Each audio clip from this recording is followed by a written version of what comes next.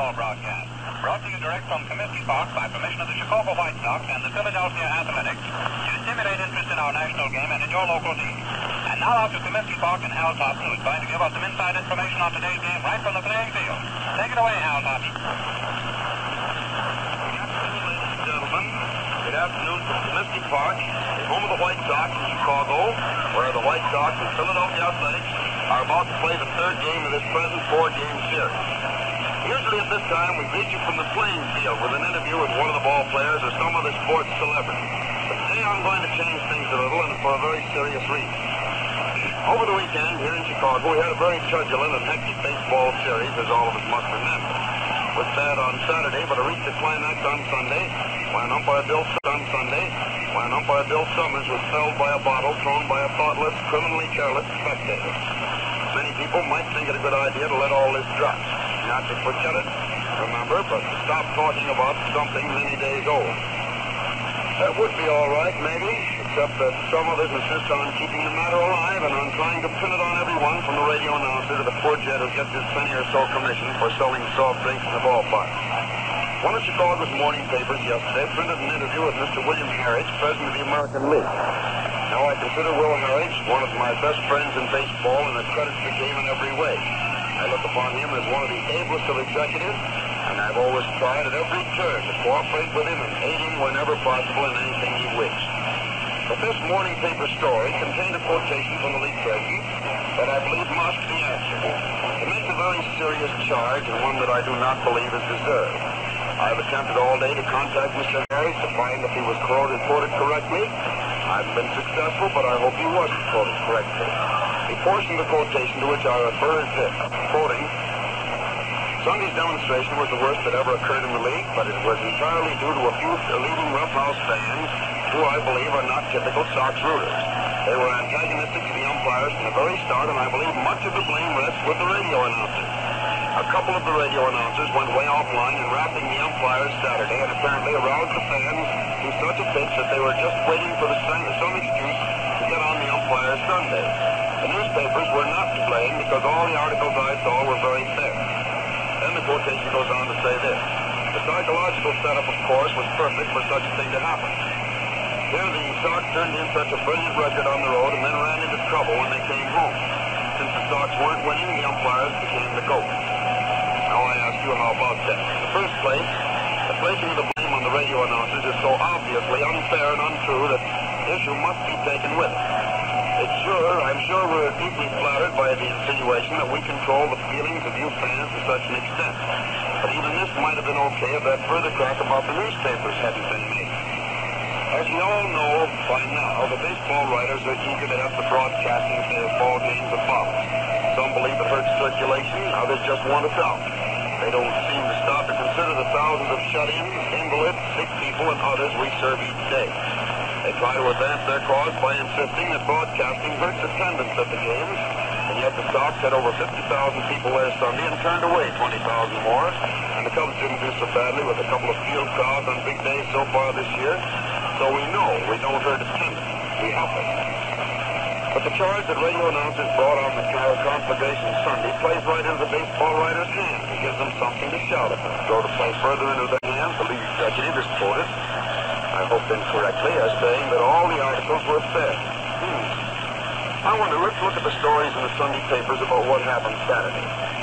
One writer refers to the ousting of Dyke Sewell and Shea several times in his story.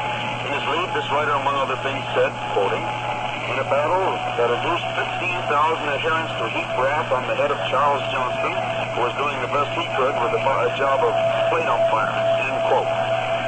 Of course, I may be wrong, but could there be a note of sarcasm in that?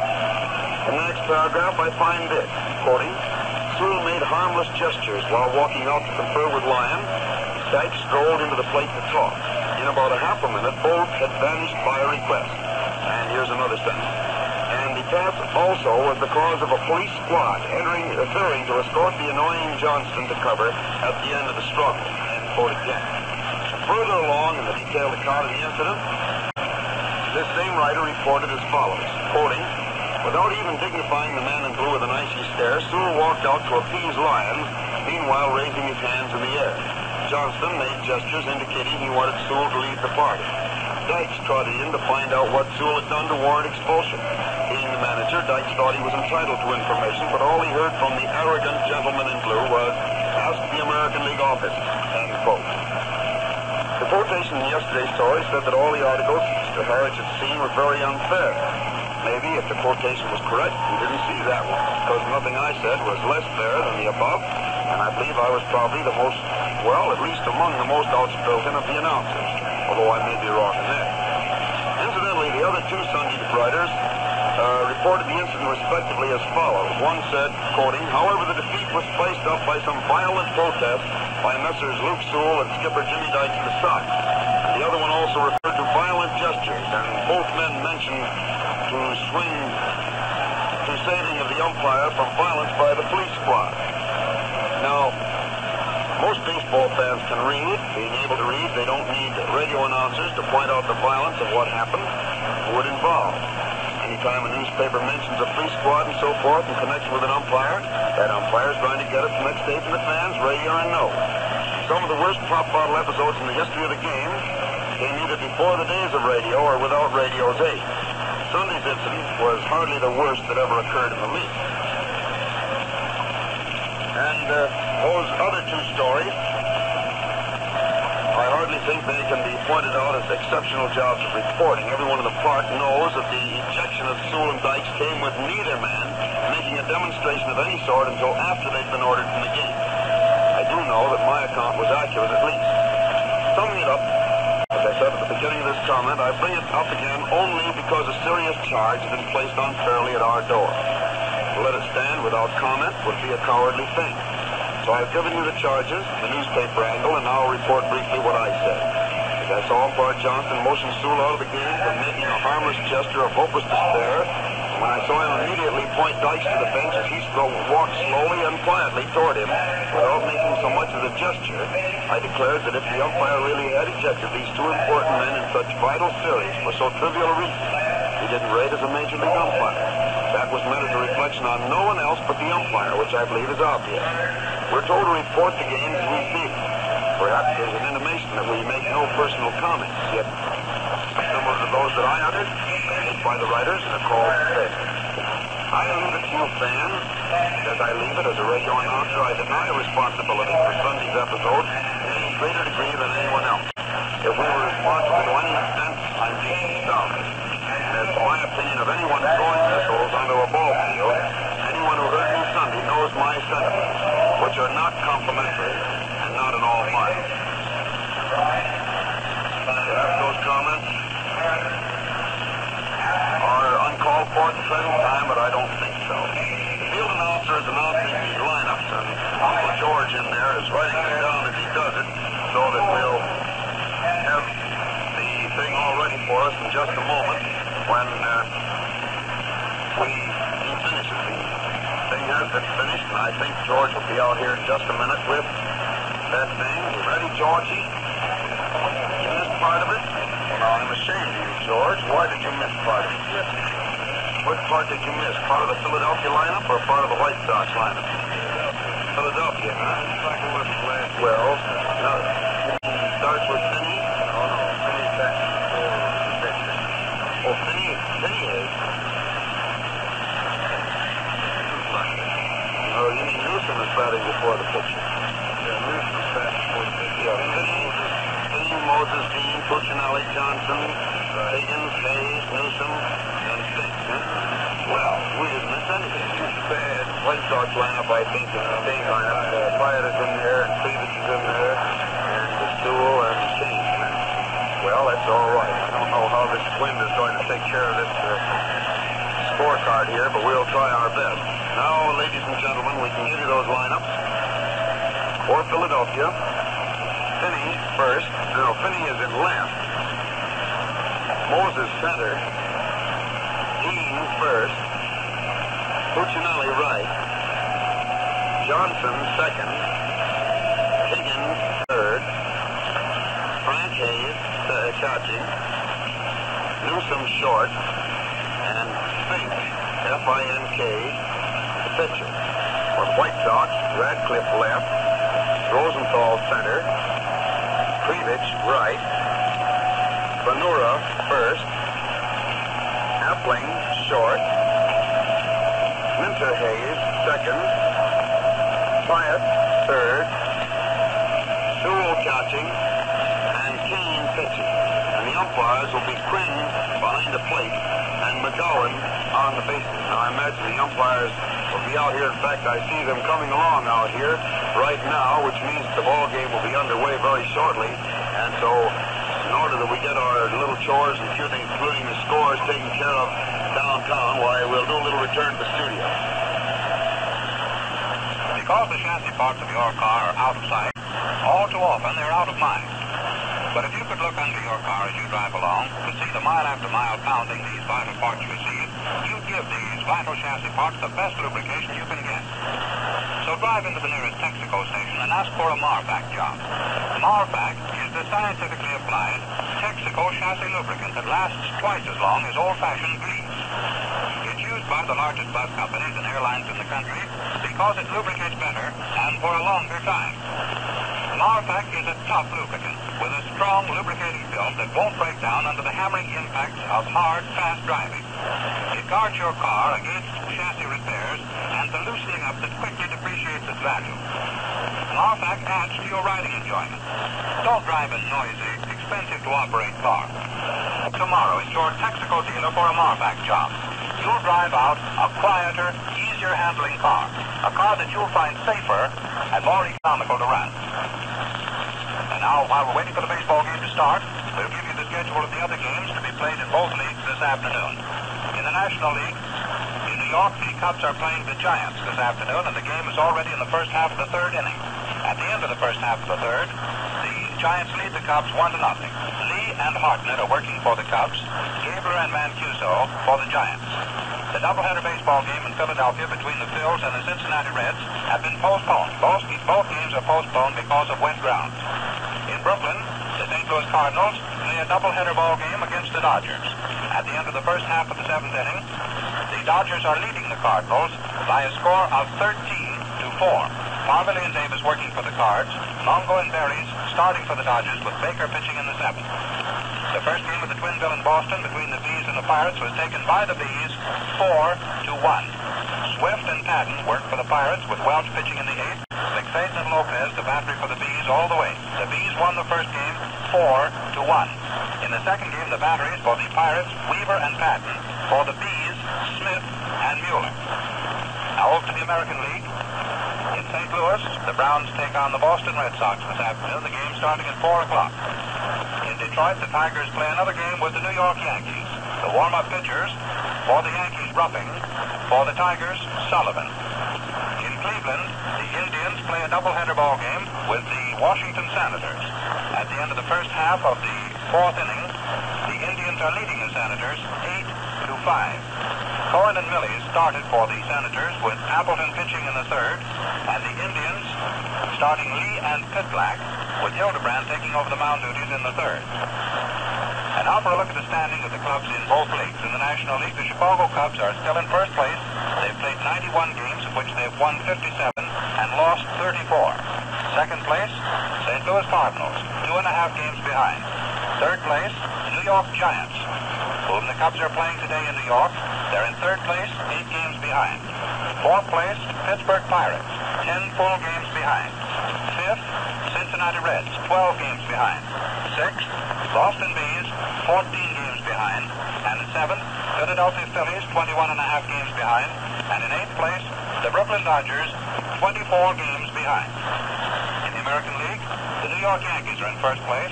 They've played 96 games, of which they've won 63, lost 33. Second, Cleveland Indians, nine games behind. Third, Boston Red Sox, ten and a half games behind. Fourth, Detroit Tigers, 12 and a half games behind. And the Chicago White Sox are in fifth place, 13 games behind the New York Yankees.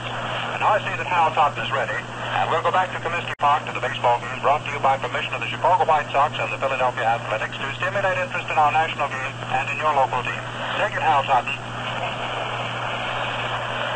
Good afternoon again, ladies and gentlemen, from the ballpark and the Athletics first hitter, Finney, is already up there at the plate waiting to hit. The only trouble is that there's no White Sox on the field. Really got there. They come out of the dugout. And on their way out, Kreevich started out, and Luke Appling grabbed him by the neck and pivoted around him to run out to his position. And the Sox boys trot out on the field with Sugar Cain walking out to finish his warm-up on the mound with Luke Sewell.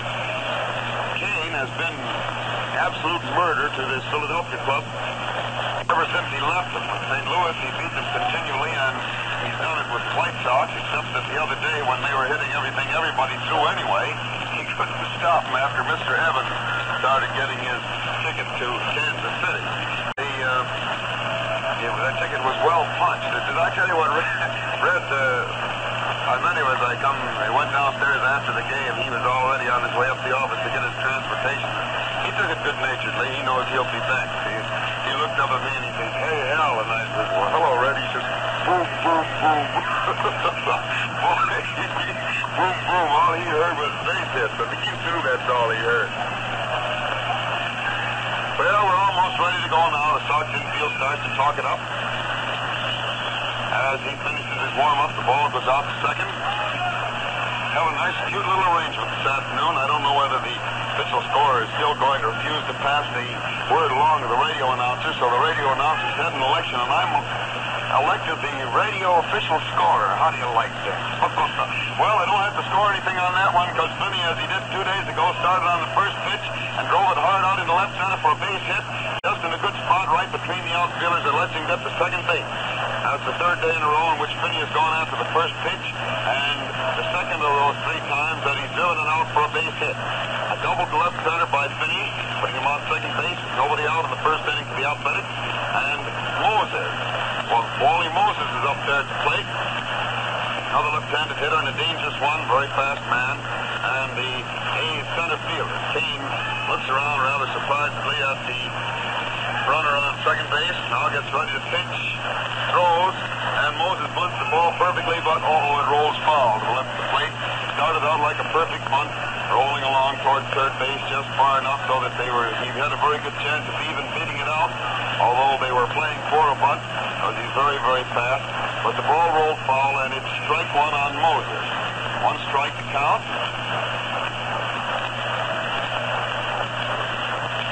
And Cain out there gets his sign again. He's ready to pitch, puts back to second, and throws. And the hitter oh, acted as though he wanted to bunt again, but the wide. He let it go by for ball one. The count is one and one. One ball and one strike on Moses. One and one the count. Cain throws again, and ball two misses the outside corner down around the knees. And it's two and one. Two balls and one strike.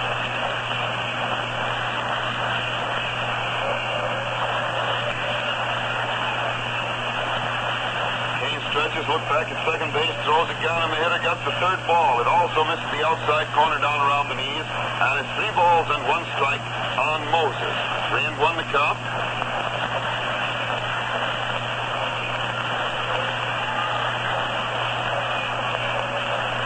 Three and one is the count. She throws again, and the hitter takes ball four. It's inside and low, and he gets the base on ball. And now the A's are starting out as they did the day before yesterday by very, very dangerous out here. Cain walks slowly in toward the plate, talking to umpire Quinn. I don't think he's, he's, he's talking a little bit, but I don't think he's really objecting to those decisions because every pitch there looked like a bad ball. And so the A's have runners on first and second with nobody out. And Chubb Dean, the first baseman, a dangerous hitter, left-handed hitter, is up there at the plate.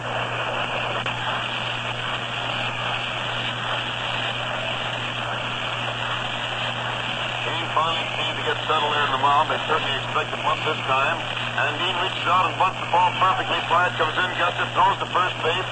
And Bonura, facing back, shifts across the back and takes the throw. Perfect sacrifice by Dean. The play going from Platt to Bonura for the first out in the first inning, moving Finney to third base and Moses to second. So the A's have runners on second and third with one out of the first inning, and George Puccinelli, Big Pooch, Husky right-handed hitter, is up there at the plate. Pitcher dodges wind up.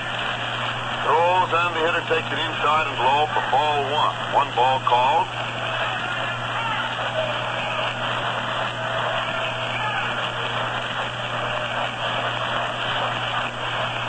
Ready again, throws, and it's ball two. Well, Shug's having trouble getting that ball over the plate today. That makes it two and nothing, two balls and no strikes on Puccinelli. Two and nothing. And there's the third ball. It missed the inside corner across the waist to make it three balls and no strikes. How do you like that whistle, George? Isn't that cute? Fans might wonder what that whistle is. Well, that's the wind blowing through the slats, these boards in the rear of the grandstand. Sings all sorts of keys. There's the fourth ball high and wide. Pooch got the base on balls, and the A's have the bases full with only one man out of the first inning, and Bob Johnson, the second baseman, is at bat. Johnson up there at the plate, tosses one bat aside, another right-handed hitter, and a dangerous one.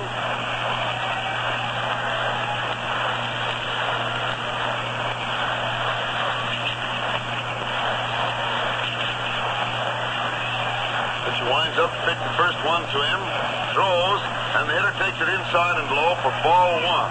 One ball called.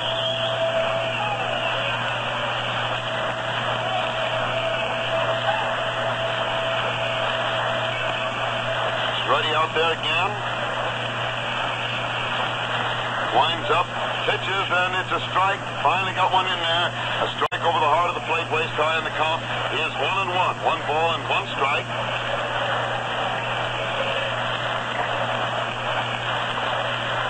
King again. Throws and Johnson swings it a high fly to right field. Pevich is waiting back there under it. Follows it over as the wind carries it toward the foul line, makes the catch, and starts the ball toward the plate. Bonura cuts it off, throws to second, and the runner is out sliding in there, but the run from third base had already scored. Run from third base had already scored. It goes as a double play from Kreevich to Bonura to Appling. Kreevich to Bonura to Appling.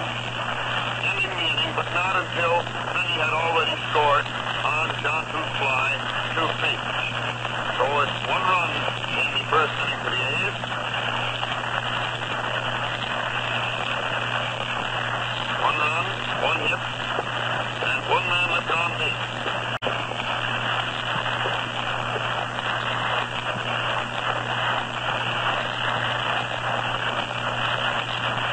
Score is one to nothing in favor of the Athletics. The White Sox comes out in the last half of the first inning with Rip Radcliff, as usual, the first man at bat. Radcliff, the first man up there.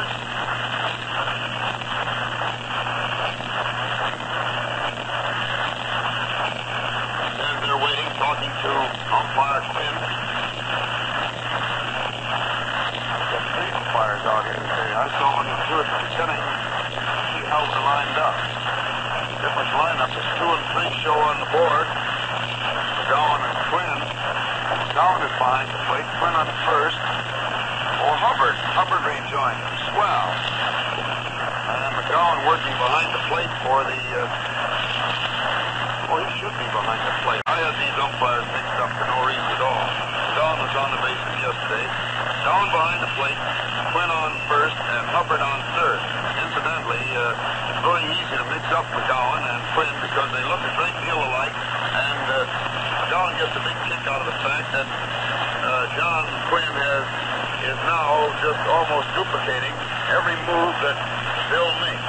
Quinn is, as I said the other day, a fellow who has improved as an umpire more than almost any man ever did in one year. Of course, umpires, like ball players, have their bad year, and the first year is always a little bit shaky. If they have the right attitude, work hard, they come through that year and then become a better umpire. And that's what Quinn certainly did. He's quite an umpire now, good, steady man, and he's worked hard at it.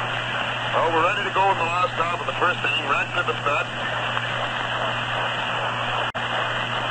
Pitcher winds up with a double windmill wind up, and Rip swings hit the first one into left field, but straight out to Finney, who makes the catch easily for the first out. One out of the first inning for the White Sox, and Rosenthal is at bat.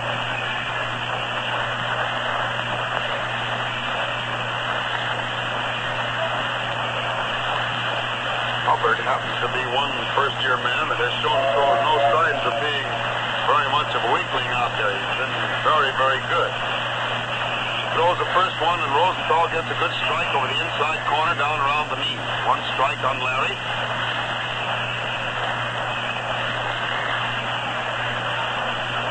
And the pitcher winds up again, throws, and it's a curveball wide and low for ball one, making the count one ball and one strike on Rosenthal. Hitting for the White Sox with one out of the first inning.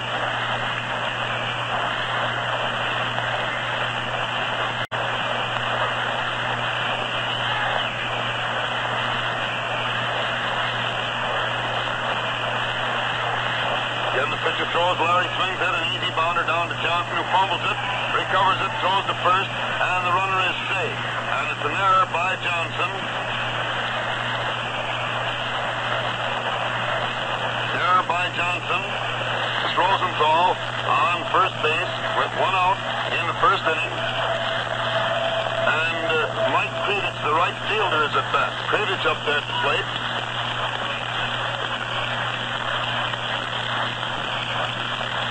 Right-handed hitter, stocky little chap. So looks at first base, then throws, and Mike takes a wide one across the knees for ball one. One ball call.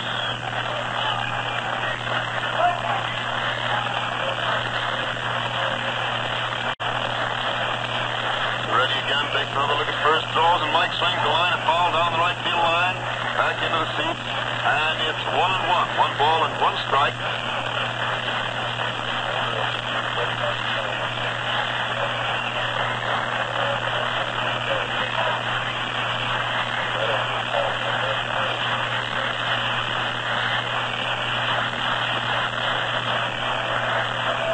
Hank has his sign. He's ready once more. Throws. And Mike swings in an easy bounder down to who it, fumbles it, picks it up, throws to first, and the runner is out for the second out of the inning.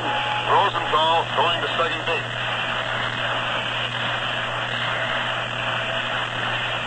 It makes it two out in the first inning for the White Sox. Two out, and the man on second base with Zeke Bonura up there at the plate. Bonura at bat. Right-handed hitter, husky fellow, one.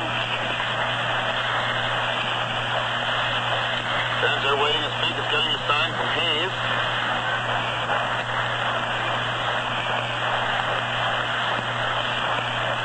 And there's a ball inside and low, making it one ball call. One ball on Bonura.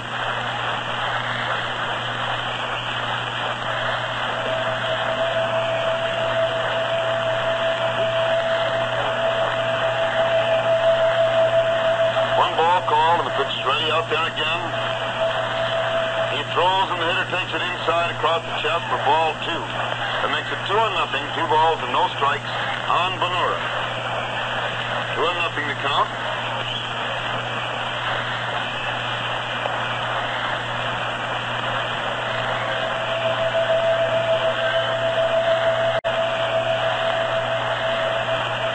Again, the pitch is ready. Takes a look back at second, throws, and Zeke swings it a slow ball high out into left field for a long, lazy fly. Then he has it, and it's three out. No runs, no hit, one error, and one man left on base in the last half of the first inning. And the score at the end of the first inning of this game between the White Sox and Philadelphia Athletics is one to nothing in favor of the Athletics at the end of the first inning. Before starting on a long drive, be sure to have the crankcase of your car drained and with a proper grade of new Texaco motor oil. There is an oil that is known from coast to coast. You can get it everywhere, and wherever you get it, it's always of the same high quality. The difference it makes in the operation of your car is amazing. Try new Texaco motor oil. Try it today if you haven't tried it before, and it'll be well worth the try. You'll gain by it in many, many ways.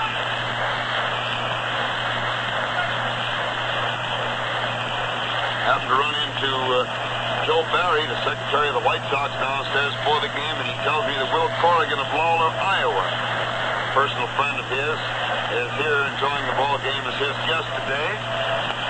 The first pitch is a strike.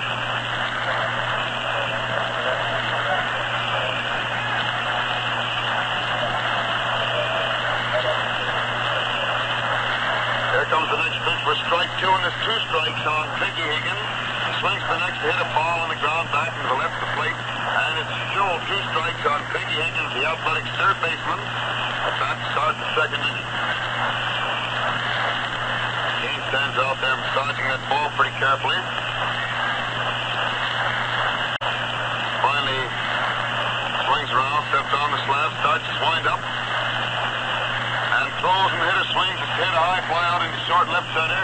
Rosenthal's jogging in easily, and uh, Appling circles out there to make the catch. So Rosenthal and Radcliff are jogging in, but Appling was out there to make the catch easily, and it's one out in the second inning. The wind today is very, very strong, as you can tell by that whistle that you hear of the wind blowing through the boards in the back of the second deck here, and it's blowing from the north, slightly northeast, blowing right back toward the plate. One out Athletics, and Frankie Hayes, the A's catcher. Hey, they're playing the scale now.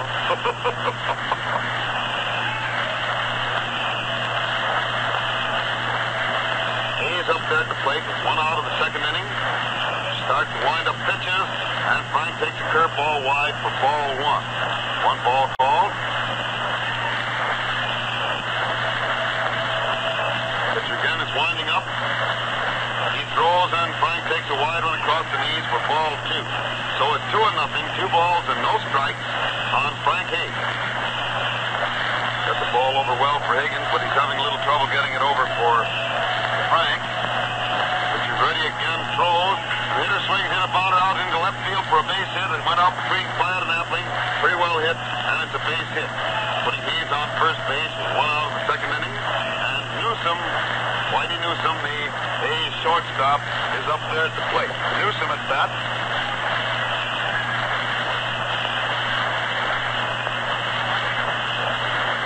Takes a look over there first. Looks at the plate. His sign. Pitches. Newsome runs up on the ball, tried to punch it to right, but he fouled it over against the stand to the right of the plate. And it's one strike on Newsome. One strike to count.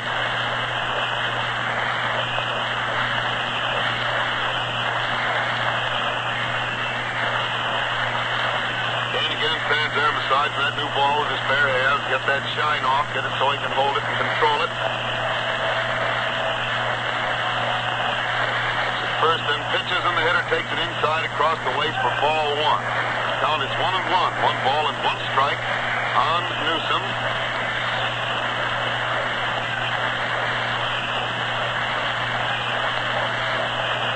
One and one to count. And there's ball two, a high fastball outside, making it two and one. Two balls and one strike Newsome, known as Whitey.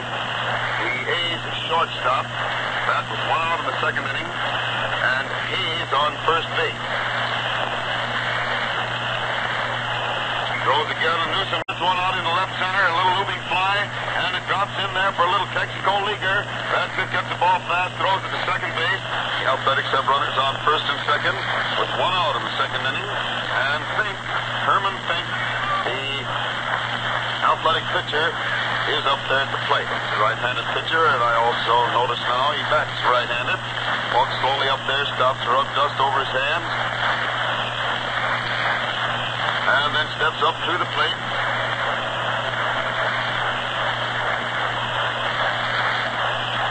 And there's the first pitch. It's inside and low for ball one.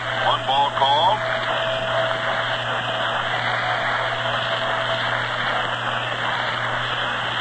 Ready out there again. Pitcher looks back at second. Pitcher, the hitter hits a line drive out to Jackie Hayes, who turns and throws to Bonura at first base. It's another double play. That ball was very well hit. Hayes leaped far to his left, grabbed it on the line, and then with both runners having been on the go, as soon as the hitter swung, apparently it was a hit and run play on it. Fink must be a better hitter than a lot of pitchers. He, neither runner had a chance to get back to his base, and it was easy for Hayes to throw to Bonura at first, doubling Newsome for the third out. So it's no runs, two hits. One man left on base the first half of the second inning, and the score remains one to nothing in favor of the Athletics as the White Sox come to bat in the last half of the seventh of the second in this ball game over Bath. And Appling, Luke Appling will be the first man at bat. Fink is already there warming up, and Appling stands at the plate watching. Boy, what an ideal day for just being out in the air and getting a lot of sunshine this is. Moss, the reserve catcher, is down there warming up the pitcher, but uh, now the other pitcher comes walking out of the dugout, is almost up to the plate. Moss going to take another warm-up throw. Finally throws the ball out to second base where the second baseman and shortstop are standing alongside the bag. Johnson gets it, juggles it, but flips it backhanded to Newsome. He returns it to pitcher, and now the Eastorm men back to their positions, backing up and talking to each other as they go, as Fink takes his place on the mound, and Luke Appling steps up to bat. Appling at bat, start the second inning. The score one to nothing in favor of the Athletics. Goes through a double or triple windup. I don't know which. So Luke swings, hits a long high fly to left field, but it looks easy for Finney. He's jogging over toward the foul line and makes the catch easily for the first out of the second inning. One out of the second inning for the White Sox. And Jackie Hayes, the White Sox second baseman, is at bat.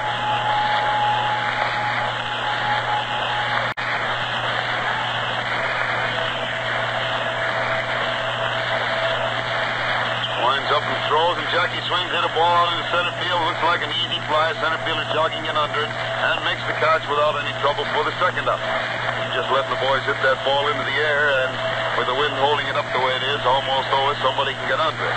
It makes it two out of the second inning for the Sox, and Tony Piet, White Sox third baseman, while Jimmy Dykes is taking this little rest down there, is up there at the plate. Piet at bat. Winds up, throws, and it's a fast one that misses the inside corner about waist high for ball one. One ball called. Hank looks around the boys the field and gets ready again. Busy time. Starts wind up.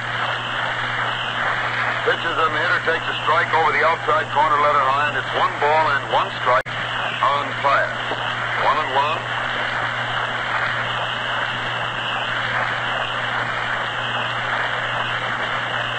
Throws again, and ball two wide and low, and it's two balls and one strike. Throwing a lot of slow stuff at Tony, trying to make him go after that change of pace.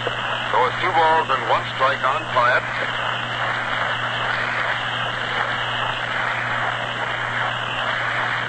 Fink winding up again. Pitches, and the hitter swings and misses a slow curve that time for strike two. Looked very funny going around on that one because he went around with almost no swing at all. He just so completely missed the ball. He was tried to stop up, but too late. So it's two and two. Two balls two strikes. Fink throws again, and Piet leans back. He got the third ball inside, and it's three balls and two strikes on Tony Piet. Three and two is the count.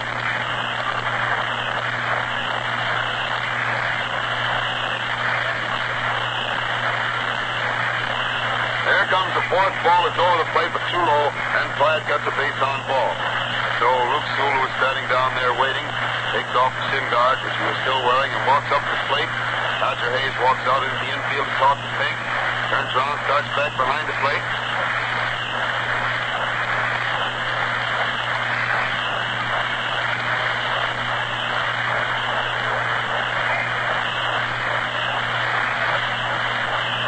Pitch steps off the slab, takes a look around at the boys, then gets ready to pitch again, takes another look around. And uh, Luke steps back out of the box. So he's back up at the plate again. He's out there looking around. Finally is set. Ready to pitch, pitches, and the pitcher, uh, catcher calls for pitch leaps out and grabs the ball because Piet had made a break as though to go to second, but he fades back to first, and the pitch is wide for ball one. One ball called. The runner's really on to go now. The hitter takes a high one wide, and Piet slides in safely, getting past the shortstop who had to go over to the first base side of second to make the catch. So Piet has the stolen base. And a puts him on second base with two out in the second inning. And Luke Sewell still at bat. The count now of two balls and no strikes. Good nothing on Sewell.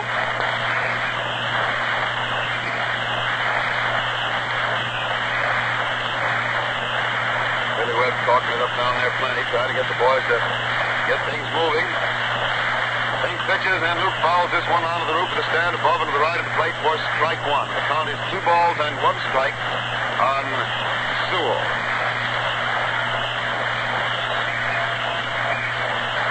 Twin won the count.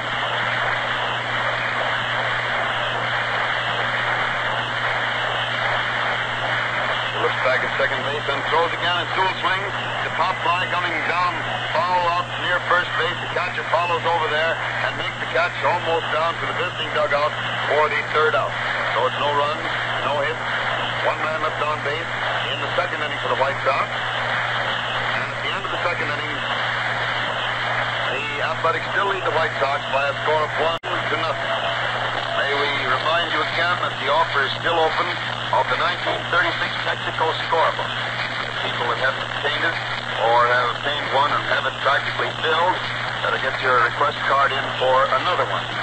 This attractive book contains not only the complete layout of pictures of the White Sox and the Cubs, their rosters and league schedules, scoring system, the same one we've used in the press box for many, many years, with illustrations and explanations of how to work it, examples of it, and the official scoring blanks, same as we've also used up here for many, many years, in fact, since the start of the game, practically, for 17 full games. If you got this book, all you have to do is stop in at any Texaco station, fill it in with your name and address, put a one cent stamp on it, and mail it, and that scorebook will be sent to you. We're ready to go now in the third inning with Lou Finney, the Philadelphia left fielder, leadoff man bat. They call time for a moment while Jackie Hayes goes over at first with Luke Appling's assistant, and now alone is fastening that second base down a little tighter. Seem to be getting a little loose. Now the boys are back in position, Who opened the game with a double on the first pitch and eventually scored the lone run so far, is up there taking the first pitch for a strike over the outside corner about knee high. One strike is the count. She winds up again, throws, and the hitter swings hit a high fly out into left center. Rosenthal's waiting for it out there, makes the catch, and it's one out of the third inning. One out of the third inning for the Athletics. And Moses, Wally Moses, the center fielder, is at bat.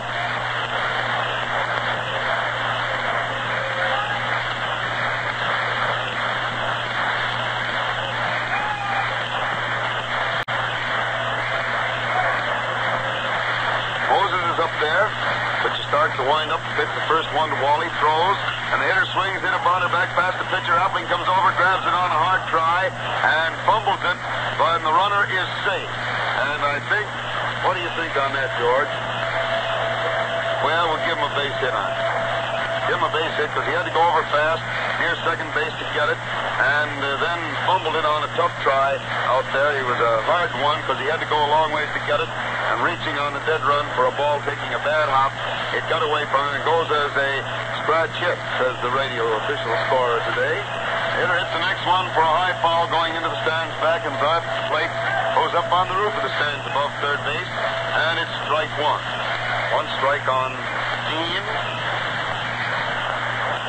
Moses on first base with one out of the third inning for the Athletics.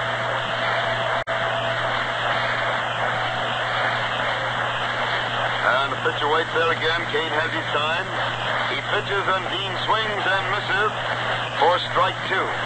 Swung well around on that ball. Umpire McGowan in that very careful way he has of studying place. Thought a second, take a look at where that bat was, and then called it a strike or waved it a strike. He may have called it before that, but he got out where he could see how far he swung. And now the hitter hits the next one into left field for a base hit. Ball went out there fast on the ground between Piet Appling for a base hit into left field by Dean, moving Moses to second base. And the Athletics have runners on first and second again with one out in the third inning. And Puccinelli, George Puccinelli, the right fielder, is up there at the plate.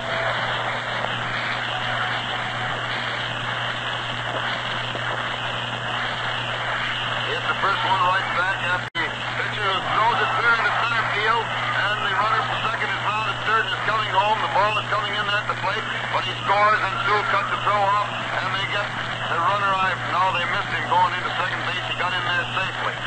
Error on the throw. Error on the throw.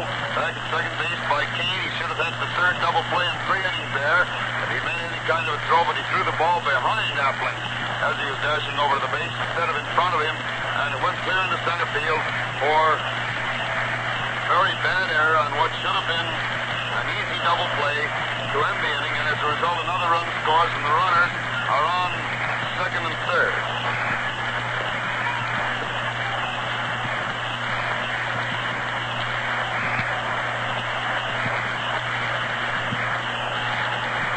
Cain winds up, throws the first one at Johnson, who takes it inside and low for ball one.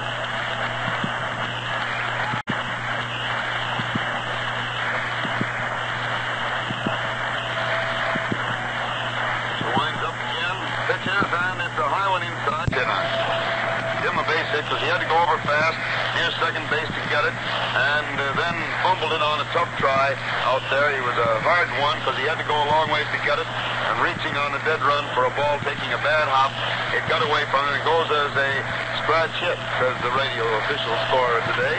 Hitter hits the next one for a high foul going into the stands back and drive to the plate. Goes up on the roof of the stands above third base, and it's strike one. One strike on Dean. Moses on first base with one out in the third inning for the Athletics.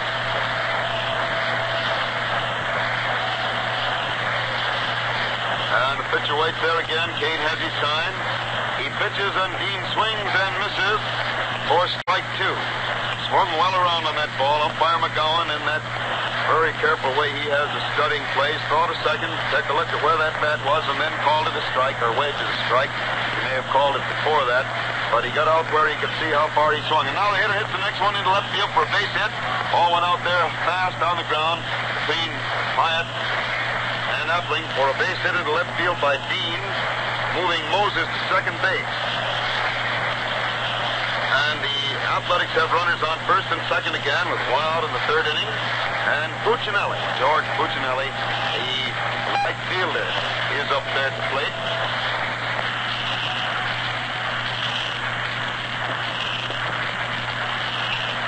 Hit the first one right back at the pitcher who throws it clear into center field. And the runner from second is round at third and is coming home. The ball is coming in at the plate. When he scores, and Sewell cuts the throw off, and they get the runner. I no, they missed him going into second base. He got in there safely. Error on the throw. Error on the throw. Back at second base by Cain. He should have had the third double play in three innings there. If he made any kind of a throw, but he threw the ball behind Appling as he was dashing over to the base instead of in front of him, and it went clear into center field for very bad error on what should have been an easy double play to end the inning, and as a result, another run scores, and the runners are on second and third.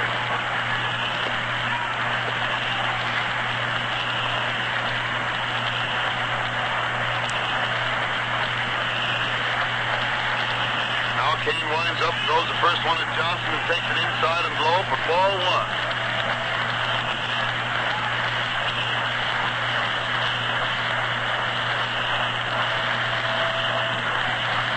She winds up again, pitches, and it's a high one inside for the second ball, making it two and nothing. Two balls and no strikes on Johnson.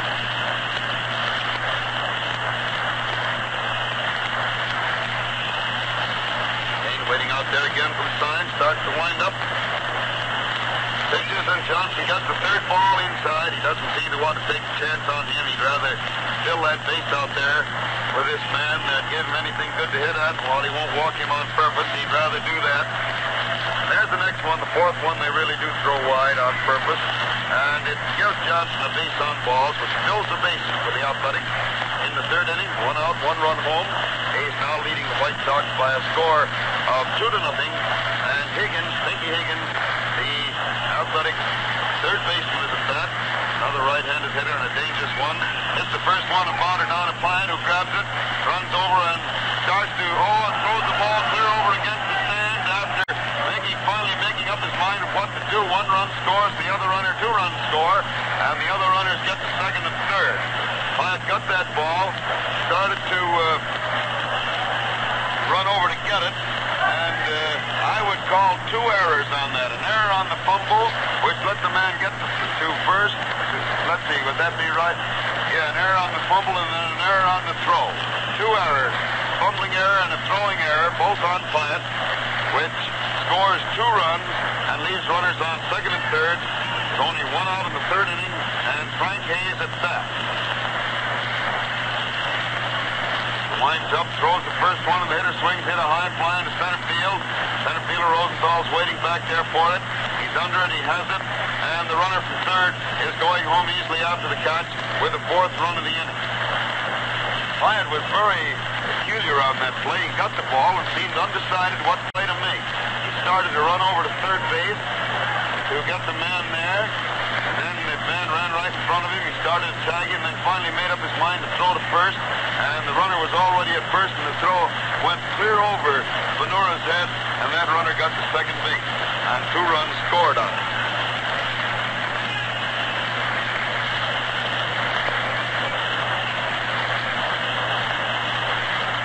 And the hitter at bat now, Newsome, swings hard at the first pitch and misses it for strike one.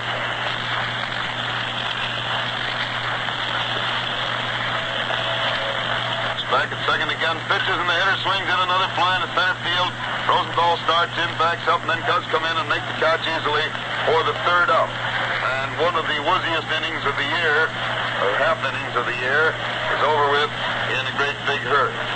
Four runs, two hits, three errors, and one man left on base in the first half of the third inning.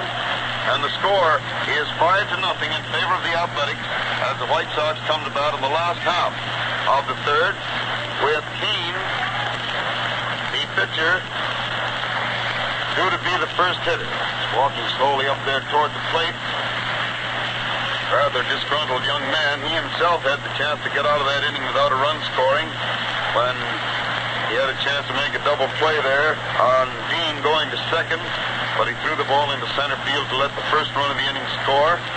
And after that, four, or three more runs scored, and all four of them were definitely due to errors. And for that reason, there were four unearned runs that inning, which gives the Athletics a five to nothing lead.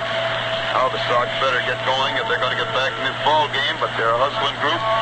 Can't tell what's liable to happen. They haven't made a hit yet. They've got two men on base, one on an error, one on a base on balls. And here is Cain at bat to start the last half of the third inning.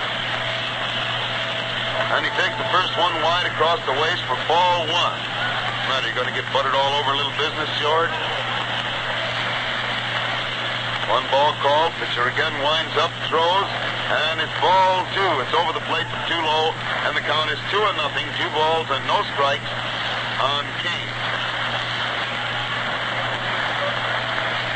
Boy, you see me try to talk with popcorn in my mouth.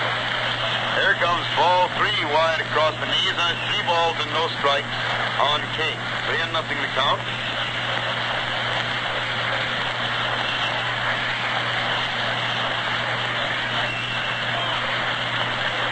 Walks back on the slab again. He's winding up.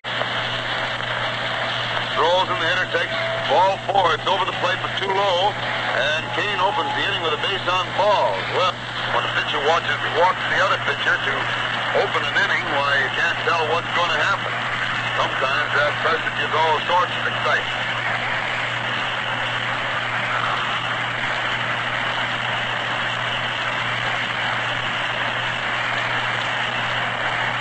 Call time for a moment while the bat boy takes Cain's leather jacket down him. He pulls it on. It's brisk breeze. It's got the coolness of the lake with it and could very easily up a pitcher's arm out there in it. Now the pitcher is ready again, and he's going to pitch to Rhett. And the Ripper takes the first pitch inside across the knees for ball one. One ball called.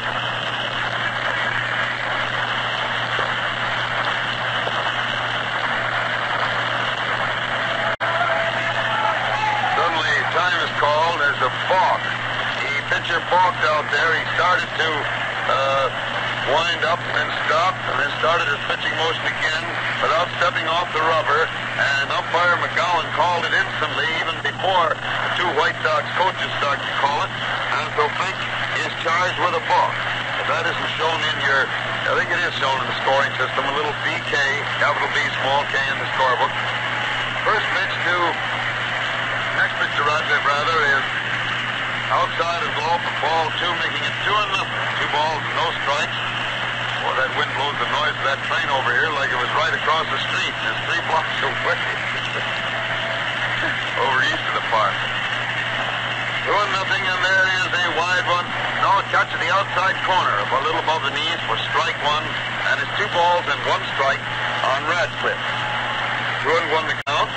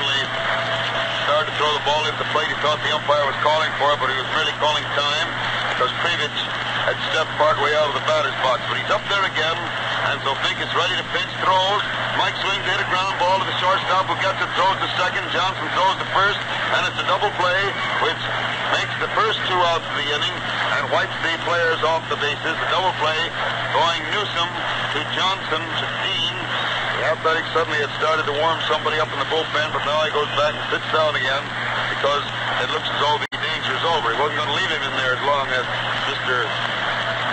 Doyle was yesterday. Now Fink pitches to Bonura, who takes a strike over the heart of the plate about waist high. One strike on Bonura.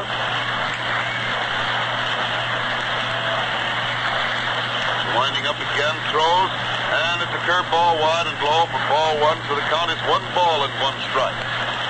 One and one.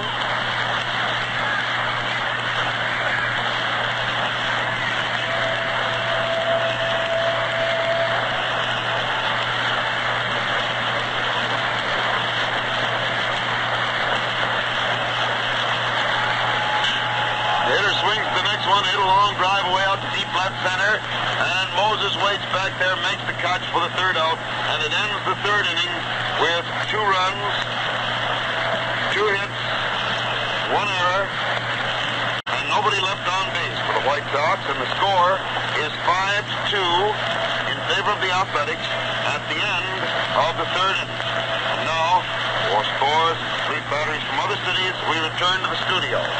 The National League in New York, the Giants lead the Cubs at the end of the first half of the seventh inning, four to nothing.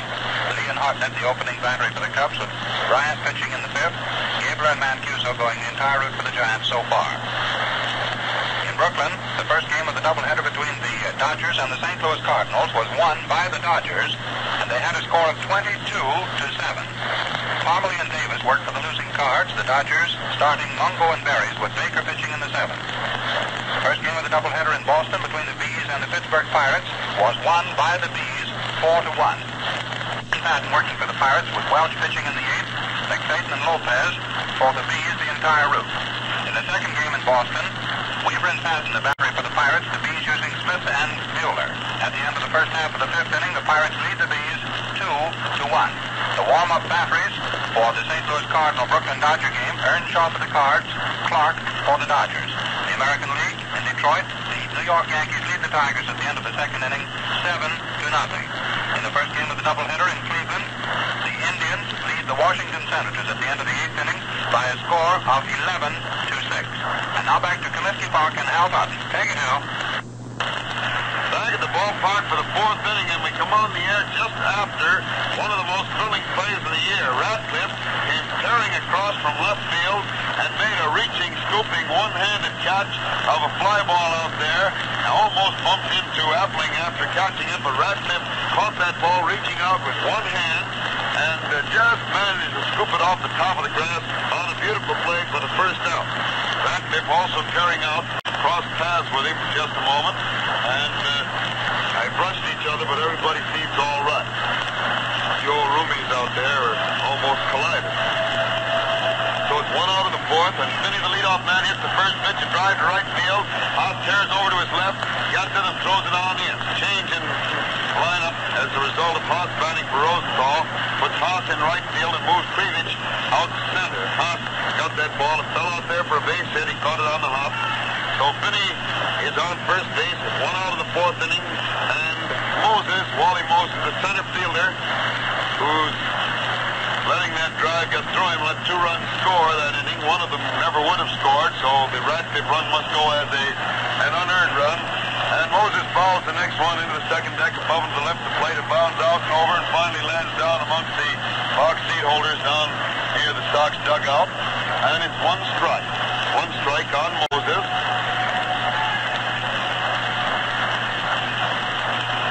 Throws the next one. It's inside and low for ball one, and the count is one ball and one strike. One and one on Moses.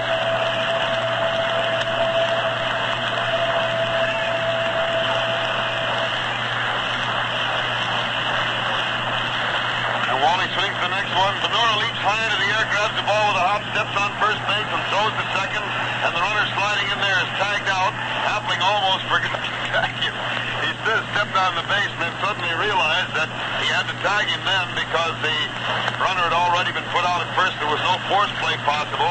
So he put the ball on him fast and completed the White Sox third double play in four innings. They'd had four in four innings, except for that error in the third, and they would have been on their way to some sort of a record. Was, Moses was out. Bonura unassisted, and then Bonura's throw to Appling at second base. Double Finney sliding in for the third out. So it's no runs, one hit in the fourth inning for the Athletics. And the score remains 5-2 in favor of the A's the White Sox come to bat in the last half of the fourth inning. Just had a little visit during the intermission for scores with press the Reverend Columbia College at Dubuque. And uh, they listen to us out there, and that is the place, if you people don't remember offhand, where Red Faber did his college pitching before he came to the White Sox. So naturally out there, they're very, very loyal White Sox fans. We were awfully, awfully happy to see Father Dress. Hope he'll come back again. He said with a little breezy up here, he was going down to Sunbird. It's warmer. I don't blame him. Here's Appling at bat. Start the half of the fourth inning. And the pitcher out there takes a look around the boys, sees that they're all set, starts his wind up, and throws. And Luke takes a good strike over the heart of the plate about waist high. One strike on Appling.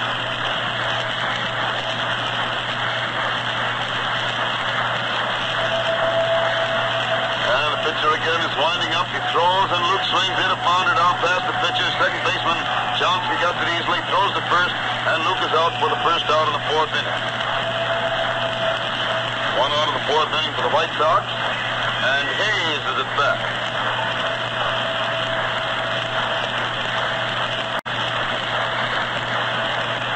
Jackie Hayes up there. She winds up and throws, and Jackie takes a fast one high and inside for ball one. One ball called.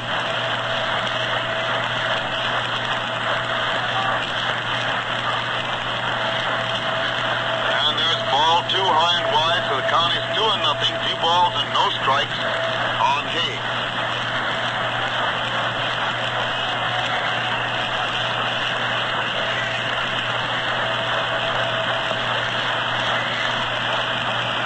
Ready again. He's winding up throws, Jackie takes a strike over the outside corner about knee high, making it two and one. Two balls and one strike on Hayes.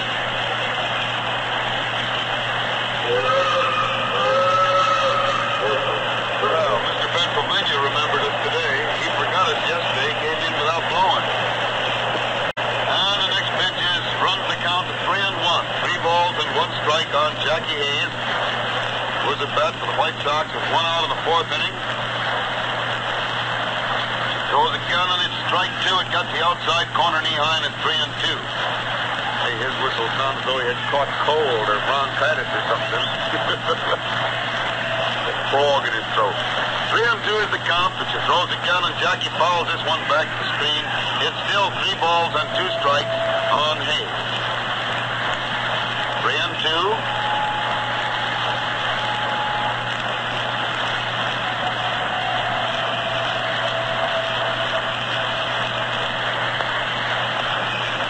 She's winding up once throws, and Jackie swings in a long drive out to left center. Moses going back fast, slows up as the wind gets it and holds it up and makes the catch. Go pretty well back in left center for the second out. That makes it two out in the fourth inning for the White Sox. And Tony Piet, the White Sox third baseman, is at bat. Piet up there at plate.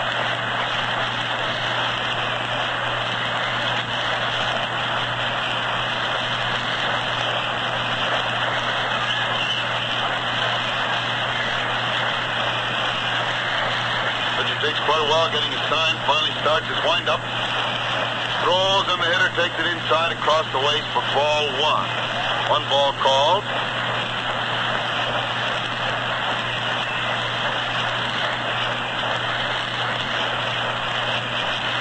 Winds up again, throws, and the hitter swings a little pop fly out back at second base, and the shortstop is back there following it as the wind blows it, makes the catch nicely, and it's three out. No runs, no hits fourth inning for the White Sox.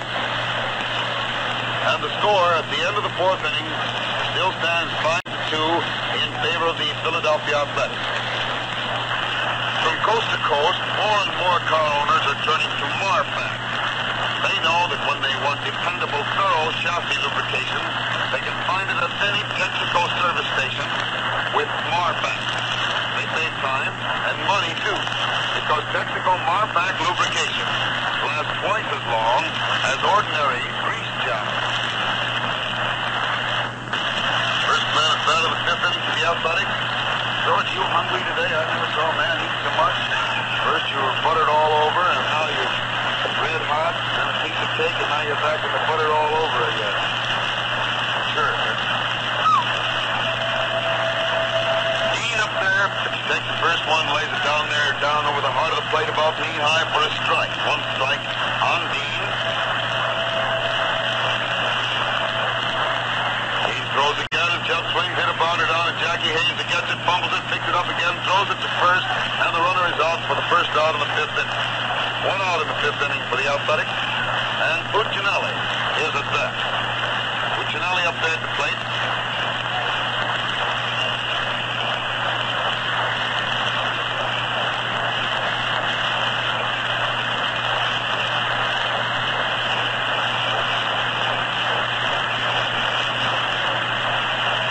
Next pitch is wide and low for the second ball. For ball. Wait a minute, is that the first pitch to him? Yeah, ball one. Yeah, that's quite a score. Hitter swings the next hit, a high fly coming down, foul back of the plate. Luke Sewell is back, coming back slowly under it. Has it, and it's two out in the fifth inning. Two out in the fifth inning for the Athletics. Bringing Bob Johnson, the A's second baseman, to bat. Johnson up there at the plate.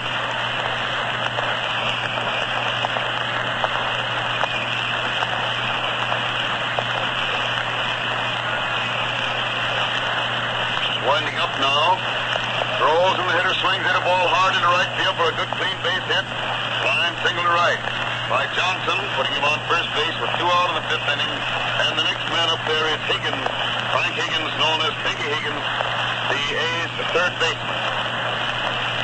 Frank's a pretty husky fellow. When he stands there at the plate, he stands there with the bat held way out in front of him, almost stationary and almost straight up in the air, way out in front of him, waiting for that pitcher to pitch.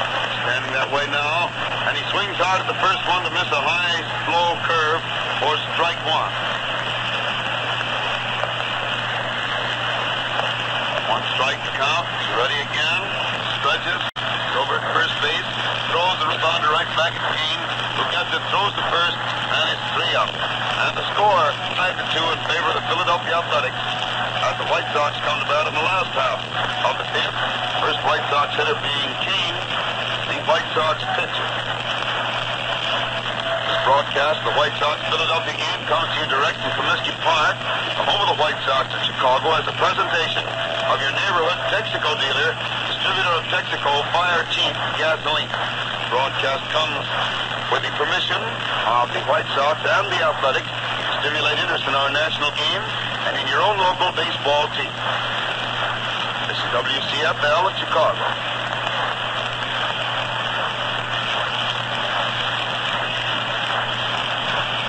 I said Cain was the first man at bat. It's Sewell, the first man up. Luke Sewell, the first man at bat for the White Sox in the fifth inning. You people who were keeping track on the Texaco scorebook probably had me caught up on that long ago.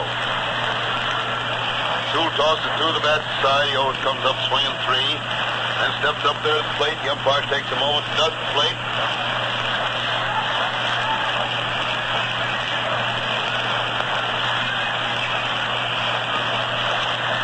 Waits there as Fink looks around the boys. They play loop a little bit around toward left field. And the pitcher starts his windup and throws, and Sewell takes a fast strike over the heart of the plate about waist high. One strike to count.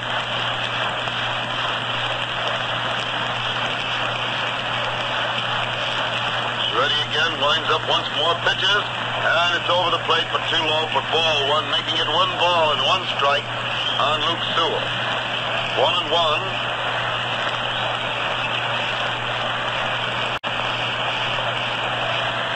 Then the pitcher throws a slow ball. Luke gets it out to the third baseman. Higgins gets it, throws to first, and Sewell is out for the first out of the fifth inning. Mr. Fink is pitching himself a nice ball. Last two hits, and one of the two runs scored against him is earned, one unearned. Sugar Cain, White Sox pitcher, walking slowly up there to the plate.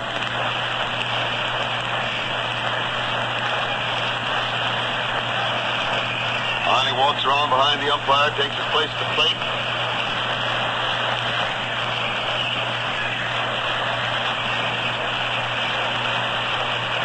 Pitcher is winding up, he throws, and it's wide and low for ball one. One ball called.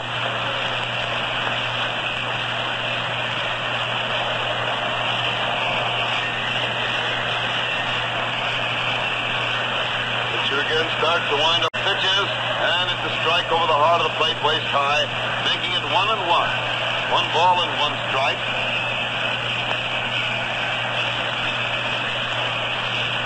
Throws again, the hitter swings it an easy bounder out in front of the plate.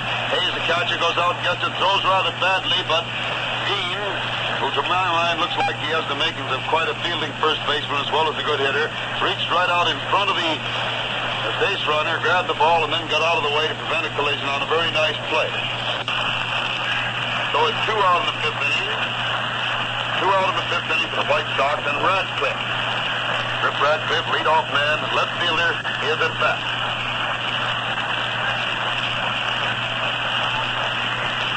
Leans over, gets the sign, winds up, pitches, and Rip takes a wide one across the waist for ball one.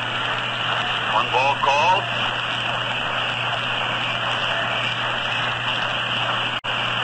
He's winding up. Throws and Radcliff takes it inside across the waist for ball two. So it's two and nothing, two balls and no strikes on the Ripper. Two balls and no strikes.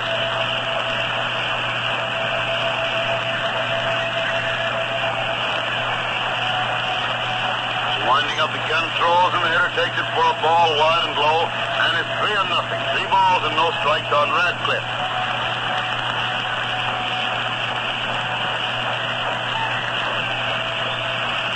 Nothing. Throws again, and Rip takes a strike over the heart of the plate about knee high, and it's three and one. Three balls and one strike. Throws again, and there's the fourth ball wide across the chest, and Rip gets a base on ball. They put him on first base, two out in the fifth inning, and Mule Haas is up there at the plate. Haas at bat. Connie Mack's only got one, maybe two fellas sitting down there in the bench with him. A few in the bullpen, the rest of them on the field.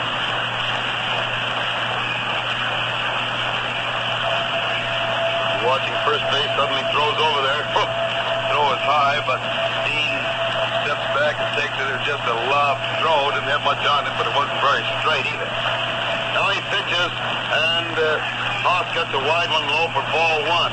Five consecutive bad pitches by this fellow. Big waits there again he signs, takes a look at first base, and throws, and it's inside and low for ball two, making it two and nothing. Two balls and no strikes on Haas.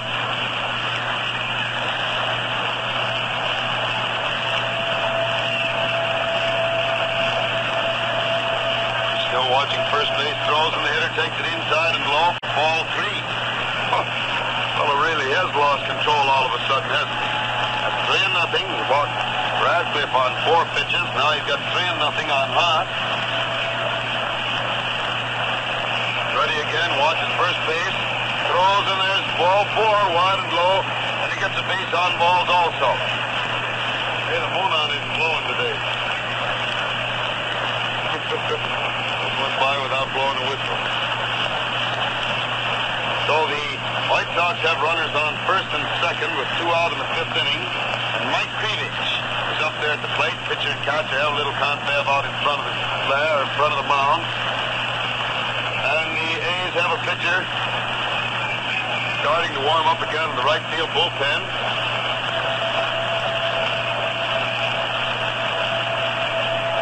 Cellini has taken quite a workout out of the bullpen for the Sox this afternoon. Apparently, he may be either getting ready for tomorrow or be taking a little tutoring from Muddy Ruel. First pitch to Kreevich is a bad ball wide for ball one. One ball called. Throws again, and Mike swings to push the ball through toward right field. He gets past Johnson, goes out there for a base hit. Runner first, Hoff stops at second, and the shortstop, for some reason or other, let the ball get through, but the third baseman, after he deflected it, chased it out and got it before the runners could advance. The throw from right field came right to Newsome. Newsome, for some reason or other, just tagged it and deflected it and almost rolled to the stand, but Higgins recovered it quickly so the runners couldn't advance. So Kreevich singled to right, scored Radcliff, put Haas on second. And so the White Sox still have runners on first and second. Two out, one run home. Zeke Bonura at bat. Score now five to three favor of the Athletics. Bonura up there at the plate. And Zeke swings, hit a long drive way out deep right center. Center fielder's chasing it. Way, way back there. He might get it. He makes a great dive for the ball and hangs onto it on another sensational play. Man, what a play. Moses carrying across into right center as hard as he could go. Suddenly threw himself headlong and caught that ball and landed right on his face and skidded along. But he held onto the ball and his hands were outstretched. So he couldn't possibly have been just trapping it. He really caught it. And it ended the inning on what looked like a hit that was going to at least tie the score because that ball was really hit. And Moses is getting a beautiful hand from the fan as he comes in there after making that great play to end the inning. One run, one hit, two men left on base for the White Sox in the last half of the fifth. And the score is 5 to 3 in favor of the Athletics of the fifth. Have you sent in your request card for the 1936 Texaco Baseball Scorebook yet? If not, don't put it off. Thousands of baseball fans are already enthusiastically keeping their own play-by-play records of these games and having lots of fun doing it. The instructions are easy to follow. In them, Hal Totten tells you just how he does it, and there are plenty of blank score sheets for you to use. In addition, in the 1936 Texaco Baseball Scorebook, you'll find schedules of all major league games, data on all players of both the Cubs and Sox, plenty of other interesting baseball data on both teams. It's easy to get your free copy. Go to any Texaco service station and ask for a request card. Write your name and address on the card, stamp it, and mail. Stop at any Texaco service station and get your card in the mail tonight. And now back to Comiskey Park for the continuation of the baseball game, brought to you by permission of the Chicago White Sox and the Philadelphia Athletics to stimulate interest in our national game and in your local team. Take it, Hal. Ballpark for the sixth inning, first man at bat. Frank Hayes lines the ball out into left field for a base hit to open the sixth, and he's on first base. Nobody out in the sixth inning, and Newsome, Whitey Newsome, the shortstop, is at bat.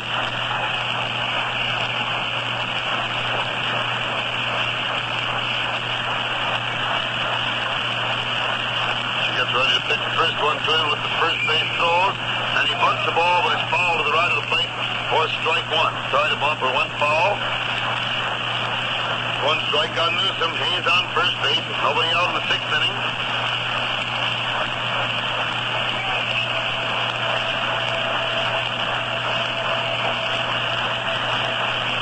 Turns to throw the first, and oh boy, it was a close play, but he got back very close because Cain made a good throw over there.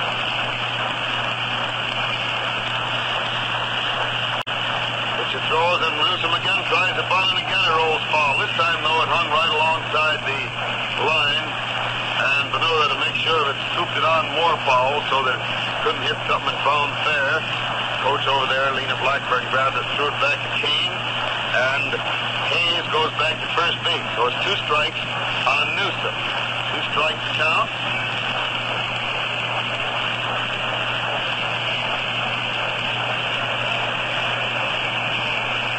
Throws again for the first ball. It's wide and low, and the count is one ball and two strikes on Newsome. One and two.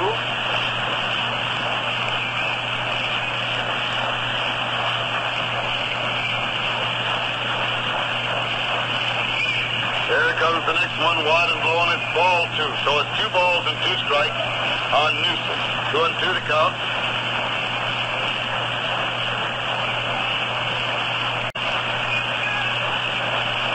Newsome suddenly walks out of the box to dry his hands in the dirt. Umpire calls time.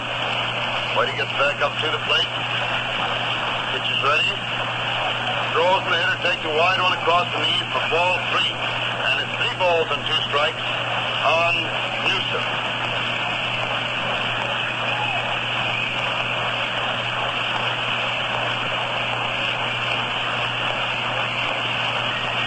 Three two is the count. Again, throws, the runner's on the go, the hitter takes the third strike, and the ball out to second base, gets the runner out. Apparently, Hayes in taking the ball, tagged the fellow almost in the face. He managed to miss his face, but touched him on the shoulder, and it goes as another double play. Newsome is mad and throws the bat on the ground in disgust as he starts back toward the bench, called out on strike. Umpire McGowan turns around watches him walk off there to make sure he doesn't make any more of a demonstration.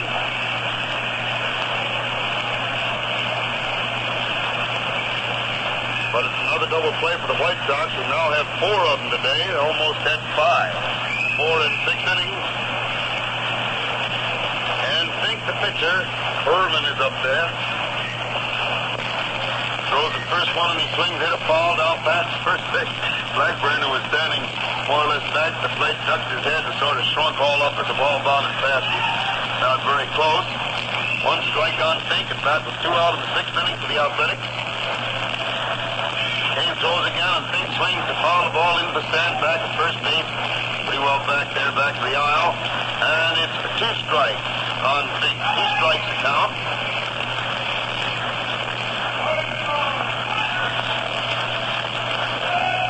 He swings again to miss a curveball inside, striking out for the third out. So it's no runs, one hit in the sixth inning for the. They still lead the White Sox by a score of five to three. The Sox come to bat on the last half of the sixth with Luke Appling, their first man at bat. Appling will be the first hitter in the last half of the sixth inning. This is the third time in a row that Luke has come up there to lead off in an inning.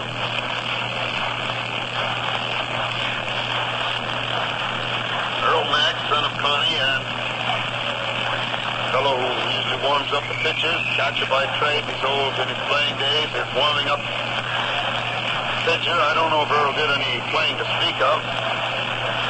But he did some work out with Portland, I believe, as did his brother. Umpire calls for the ball, looks it over pretty carefully, finally decides it's all right. Turns, walks out, throws it back to Fink so he can continue his warm-up.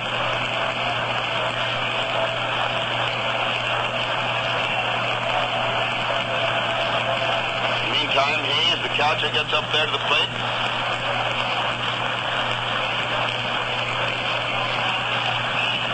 Ball is thrown out to second base. With Johnson flipping it over to Newsome. Newsome returning it to pitcher. They walk back their positions. Pitcher's on the rubber. And Appling steps up to bat. Appling at bat.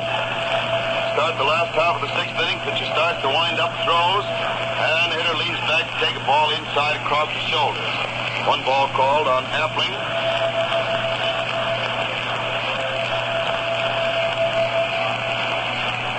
She winds up again, pitches, and it's a strike over the heart of the plate, waste time, making it one and one. One ball and one strike on Appling.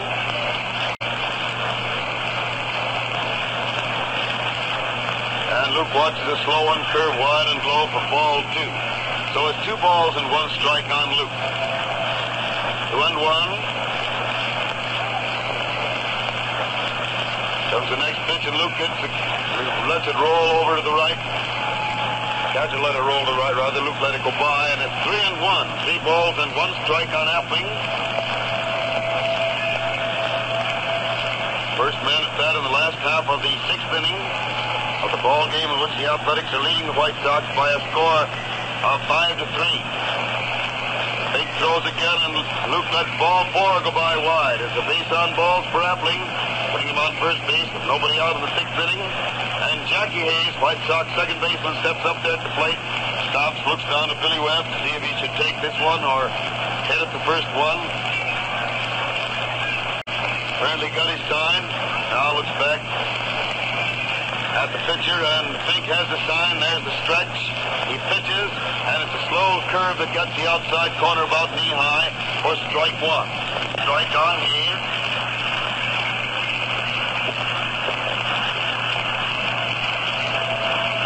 Ready again, watches first base, then throws, and it's a high one inside for ball one. It's one ball and one strike on Hayes.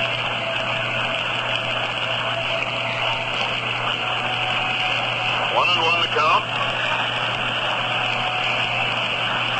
The throws again with Appling on the go. Hayes drives the ball out into left center for a good base hit. A good hit and run play in which he drove the ball right through the spot. The shortstop is vacated to go over that and cover second. A good hit and run play which Hayes lines the single to left center, moving Appling to third base. Appling on the go. The shortstop dashed over to cover second. Pulled that ball right through the spot he left open. Appling has no trouble reaching third base. Is winding up the pitcher pretty hard in the bullpen. As Tony Piet steps up there. Piet at bat.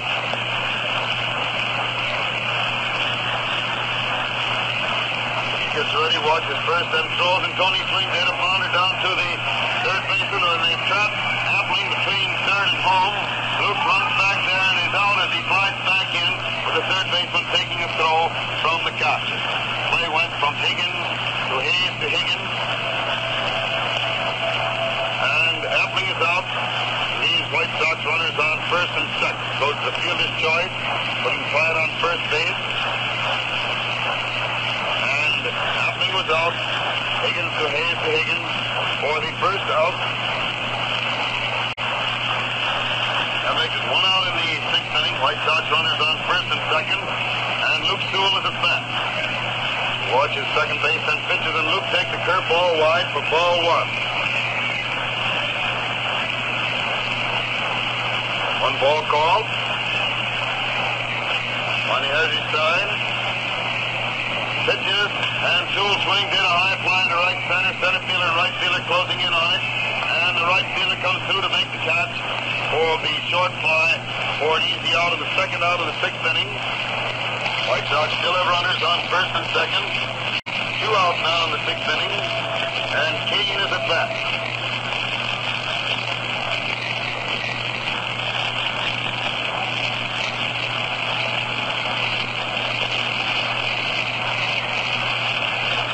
Looks back at second base and throws and swings it a high fly down the left field line.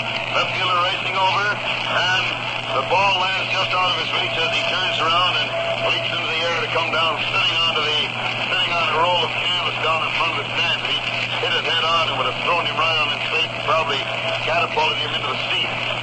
So it's one strike on Cain.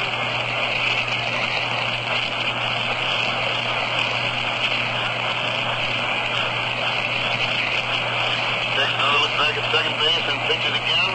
Cain swings it upon the shortstop coming across fast, grabs it, second base, and forces Bryant out for the third out. Ending the sixth inning with no runs, no hits, no, no runs, one hit, and two men left on base. And at the end of the sixth inning, the Philadelphia Athletics are leading the Chicago White Sox by a score of five to three. Now, once again, for up-to-the-minute scores and complete batteries from other cities, to the studio.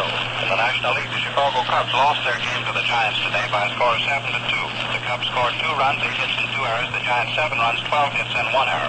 Leon Harton at the opening battery for the Cubs was Bryant in the fifth, Root in the eighth. Bieber and Mancuso went the entire route for the Giants. First game of the doubleheader in Brooklyn between the Dodgers and the St. Louis Cardinals was won by the Dodgers 22 to 7. In the second game, Earnshaw Ogrodowski, the battery for the Cards, the Dodgers warming up, Clark and Phelps with Butcher pitching in the first. At the end of the first inning, the Cards lead the Dodgers in the second game 3 to nothing. In Boston, the Bees took the first game of the doubleheader from the Pittsburgh Pirates. Scored two runs, eight hits, and two errors. The Giants seven runs, 12 hits, and one error. Leon Harton at the opening battery for the Cubs with Bryant in the fifth, Root in the eighth. Gabler and Mancuso went the entire route for the Giants. First game of the doubleheader in Brooklyn between the Dodgers and the St. Louis Cardinals was won by the Dodgers 22 to 7. In the second game, Earnshaw Ogrodowski, the battery for the Cards, the Dodgers warming up, Clark and Phelps with Butcher pitching in the first. At the end of the first inning, the Cards lead the Dodgers in the second game 3 to nothing. In Boston, the Bees took the first game of the doubleheader from the Pittsburgh Pirates 4 to 1. In the second game, at the end of the sixth inning, the score is tied at 3 all. Weaver and Padden, the Pirate opening battery in the second game, with Brown and Finney, the battery in the sixth. Smith and Mueller working for the Bees.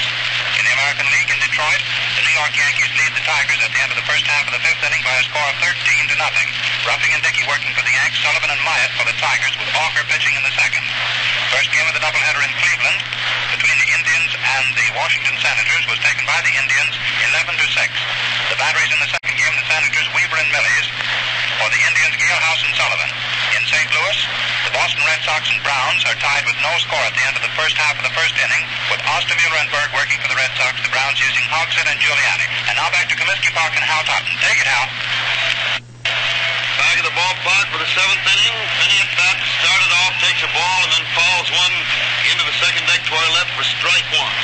Cain winds up again, throws, and Lou swings in a high fly in left field. Left fielder's jogging in under it. Radcliff's waiting. Has it, it's one out of the seventh inning. One out of the seventh inning for the A's, and Moses, Wally Moses, the center fielder, is at bat.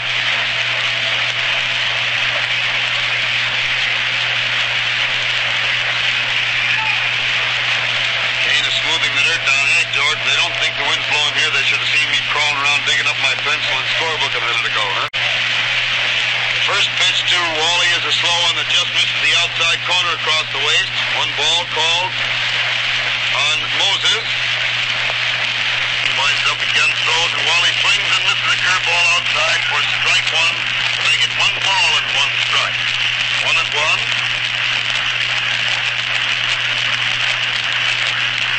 Throws again, and Wally swings and misses a fastball inside for strike two. So it makes it one ball and two strikes on Moses. One and two.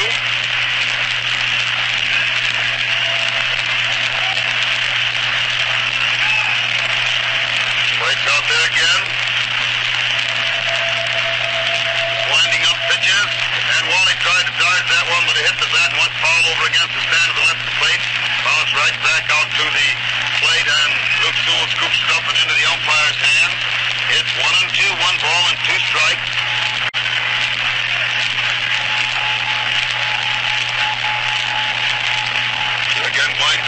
balls and the hitter steps back to take a ball inside across the waist.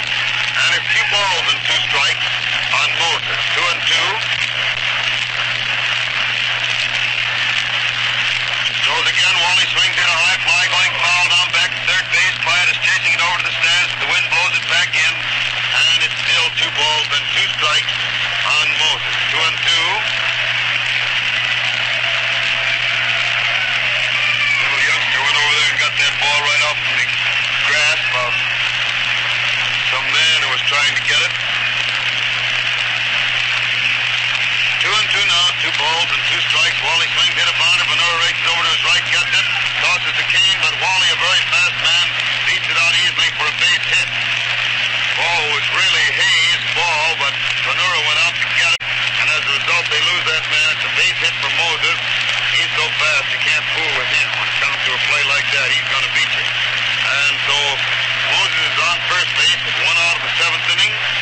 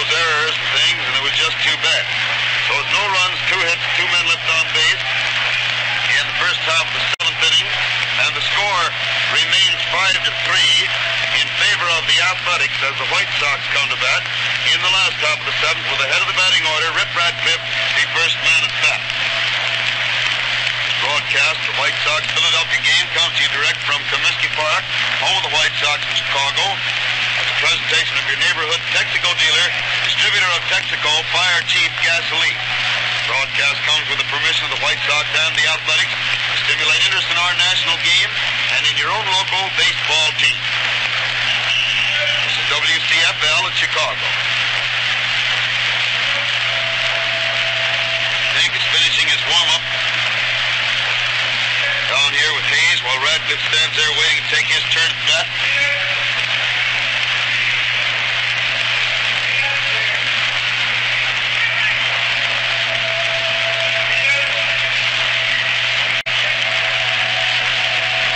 Ball finally goes out there to second base. And we're ready to go in the last half of the seventh inning. Crowd sitting down after its seventh inning stretch. Fink slams the ball into his glove a couple of times.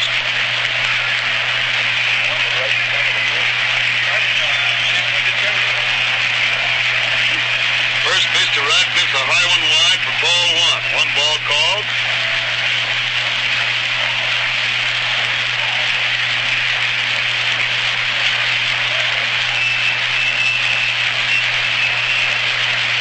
And Fink again goes through his windup and it's a ball too. It's inside by the knees. Doing nothing on Radcliff.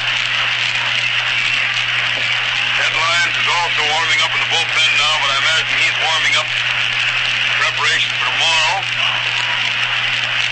There is strike one, a pretty one over the heart of the plate down around the knees to make it two balls and one strike on Radcliff.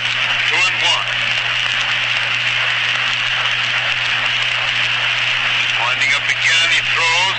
Radcliff swings hit a ball out through the shortstop into left field for another base hit, making two hits for Ripper today. And it puts him on first base with nobody out in the seventh inning, and Mule Haas is at bat. Haas up there at the plate.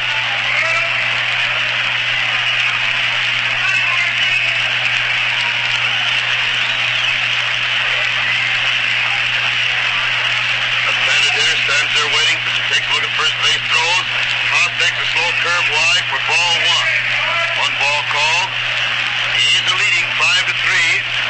The last half of the seventh inning. Sure again is steady throws, and the hitter swings, hits the ball in center field. Center fielder comes in fast. The ball lands in front of him, and he makes a grab for it, gets it on the hop, throws it in, and Radcliff has to stop at uh, second base. The ball wasn't quite short enough to be a technical le- leaguer, but it was a sinker, a little looping fly out into left center, which moved Radcliff to second base. And the White Sox have runners on first and second. Nobody out in the ninth inning. And Mike Kreevich is at bat. Kreevich up there. Infield playing around though they expect a bunt from Mike. Pitcher throws and Kreevich does bunt down toward third base. Third baseman Higgins comes in fast, gets the ball and throws to first where Dean had gotten back to make the play. And it's a good sacrifice. Perfect sacrifice by Kreevich. Play going Higgins to Dean for the first out the seventh inning, moving the tying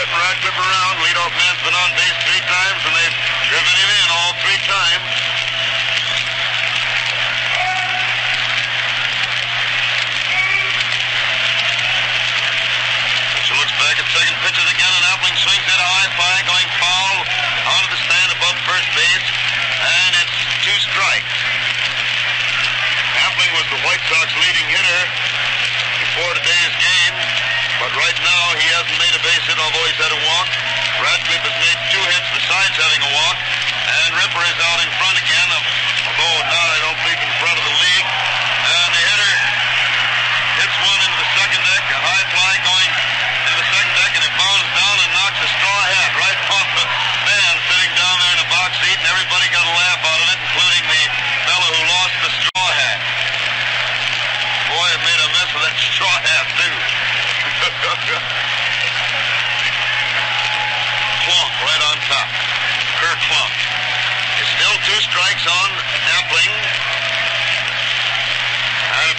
goes again. Luke swings and follows this one into the stand, back into the right. So it's still two strikes on Luke. Bonura is on second base. One out, two runs home in the seventh inning. White Sox now tied with the Athletics, five and five.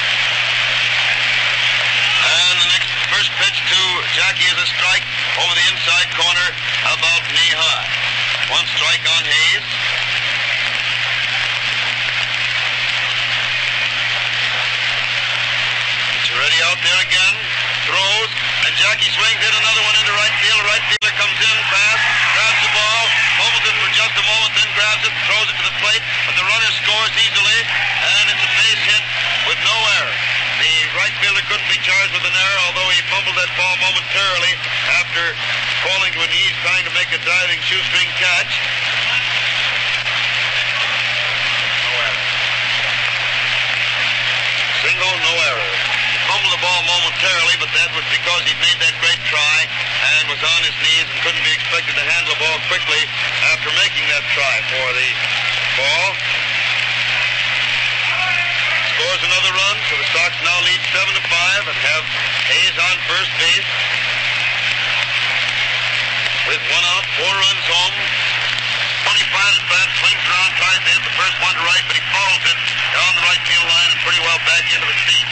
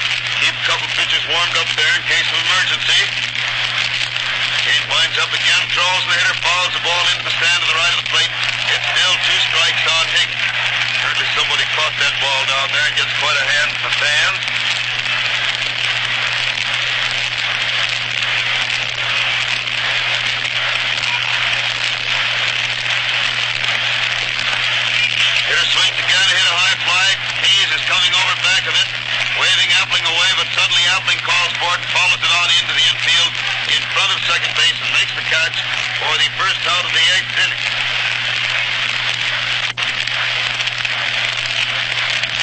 One out of the eighth inning for the Athletics, and Frank Hayes, the catcher, is at bat.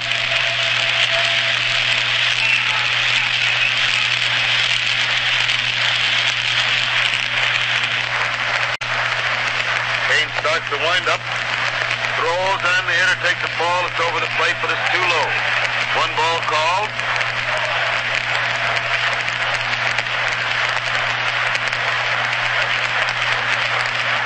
Cain throws again, the hitter swings a high fly going foul into the stands back at first base. That makes it one and one,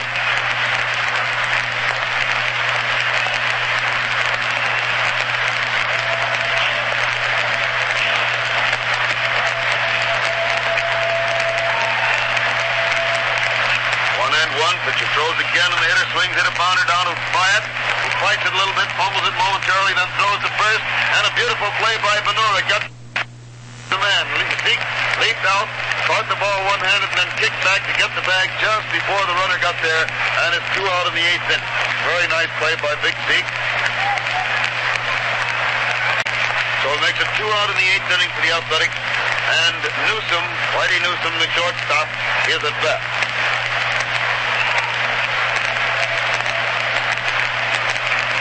Cain throws the first one, and Whitey takes a curveball wide and low for ball one.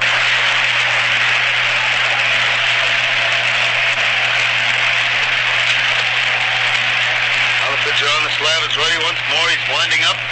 Pitches, then the hitter started to swing, but changed his mind and took a ball wide. And so it's two and nothing. Two balls and no strikes on Newsome. Two and nothing with pitcher ready again. Winds up, throws, and it's a strike. Fastball over the heart of the plate, making it two and one. One of those wandering clouds suddenly blew across below the sun, and it Got the field completely in shadow, but all around us the sun is shining. Hitter hits the next one, a grass cutter out past the pitcher. Hayes gets it, throws it first, and it's three out in the eighth inning, although Hayes throws a little wide. Bonura reached way out to get them. Three out in the eighth inning for the Athletics.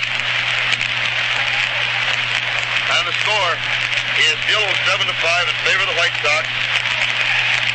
White Sox coming to bat in the last half of the eighth with Rip Radcliff, the leadoff man again, the first man up. Let's see if we have a change out here. Number 20. Gumpert, G-U-M-P-E-R-T, is the new pitcher for the Athletics.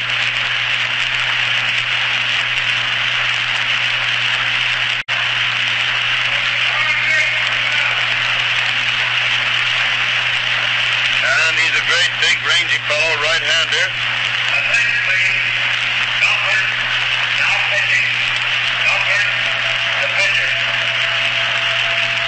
Here's a very easy pitching motion. Bring that ball pretty much overhand or is a little bit high sidearm. He finishes his warm-up. Somebody else is keeping warming up down the right field bullpen for the A's. And Rip Radcliff is up there at the plate to start the last half of the eighth inning.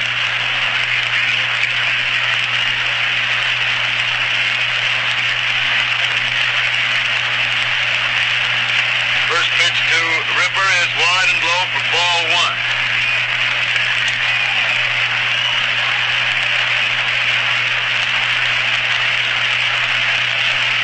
One ball call, pitcher throws again, and it's a strike over the inside corner waist high, so the count is one ball and one strike on Radcliff.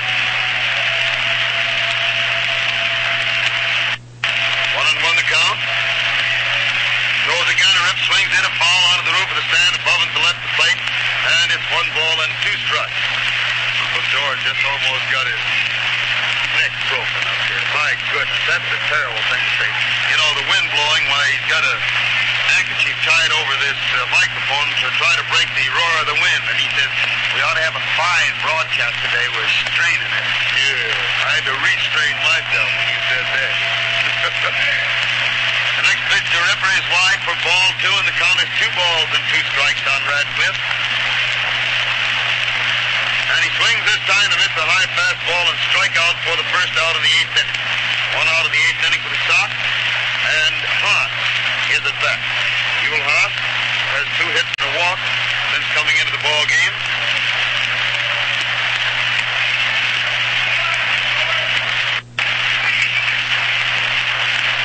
starts to wind up. Throws and Mule takes a high one wide for ball one. One ball called.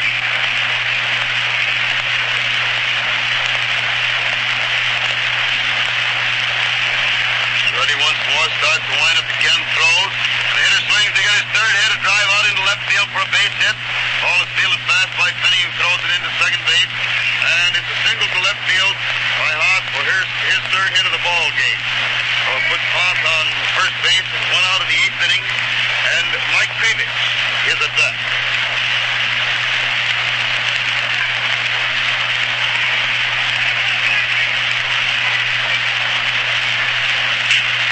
Hitter hits the first one, it's a boundary to the shortstop who makes a nice play on it, throws the second, and the throw to first completes a double play. The shortstop made a very fast play on that drive of. Flipped it to Johnson, and Johnson made a nice pivot and throw to first twin killer. So it's three out, no runs, one hit in the eighth inning for the White Sox. And at the end of the eighth inning, Sox are leading the Athletics by a score of seven to five. Have you stopped in to get your new 1936 technical scorebook, or at least got the request card to get it? You know these books are going to be very precious possessions later on. It's going to mean that you can relive the games that you hear, thrill about, those that you see, all the rest of your life. Because in this scorebook, not only is space for 30 full games, I mean 17 full games. I'm looking at number 30 on the back of the coach down there, Earl Mack. It'll uh, Nemec is batting in place of Comfort. It'll give you this complete scoring system and there's room for 17 games, pictures the shots and Cubs. It's so simple to get. Just stop in at any Texaco station, ask for a request card, fill it out, put a stamp on it, and mail it. It's already addressed to me, and you'll get your score.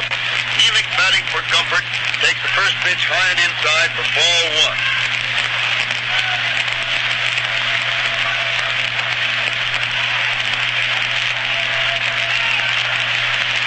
And there's the next one for a strike over the outside corner, so it's one and one.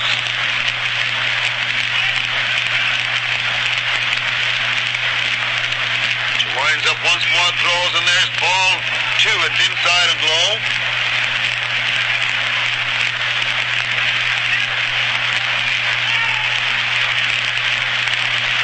Swings the next in a high fly coming down foul back to the plate. Sewell is jogging back with umpire McGowan running right with him. Luke grabs it, hangs onto it, and it's one out of the ninth inning.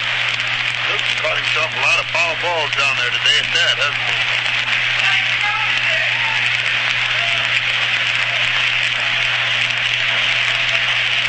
One out of the ninth inning for the Athletics. And the next man up there is Lou Finney, the leadoff man at left field.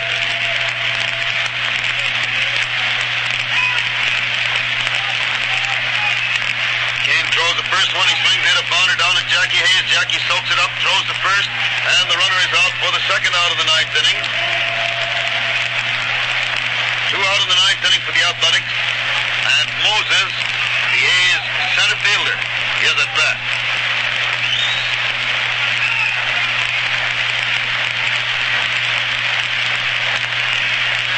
Moses, another left-handed hitter, waits there as Cain starts to wind up throws.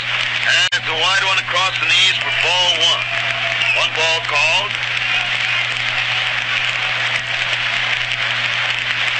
Sugar has the sign again, starts to wind up, pitches, and the hitter tried to get away from that one, but it came into him and hit the handle of the bat and bounded foul back to the stand.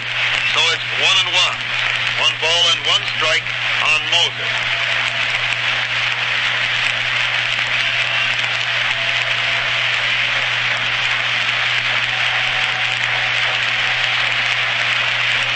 Waiting there again for the sign. Suddenly the umpire calls time, walks up, talks to Sewell about something or other. Oh, he changed that last one to a ball? How could he? It hit the bat. Well, he did, so it's two and nothing. There must be some reason. Might have hit Sewell's glove or something first and him down against the bat. Anyway, the next one does come over the plate for a strike, and it's two and one. Two balls and one strike. And there's ball three, wide and low. And it's three and one. Three balls and one strike on Moses. Cain is winding up again. He throws, and the hitter takes a strike over the inside corner about knee high. It runs the count to three and two. Now we'll see what happens. Balls and two strikes on Moses. Throws and. Wally swings the foul one way down the left line, back underneath the second deck, far down beyond third base. And it's three and two. Three balls and two strikes.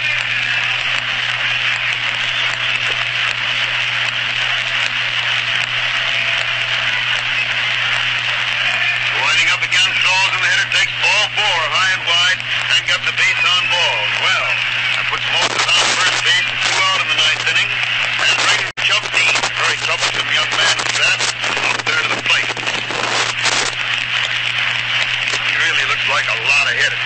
Dean stands there looking at the Oh, the umpire discovered the catcher's paraphernalia lying out there on the ground in front of the dugout. It's supposed to be in it, so they wait until it's taken in. And there's the first pitch to Dean for a slow curve that comes over the heart of the plate around the knees for a strike. One strike on Dean. Dean throws again, and the hitter swings it a foul down the left field line, clear over the roof of the stand, and it's two strikes on Chubb.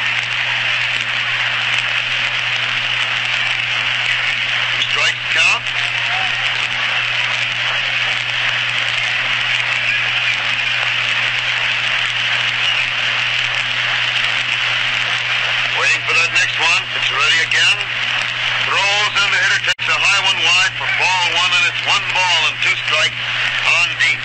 Moses on first base, two out in the ninth inning, and the White Sox leading seven to five.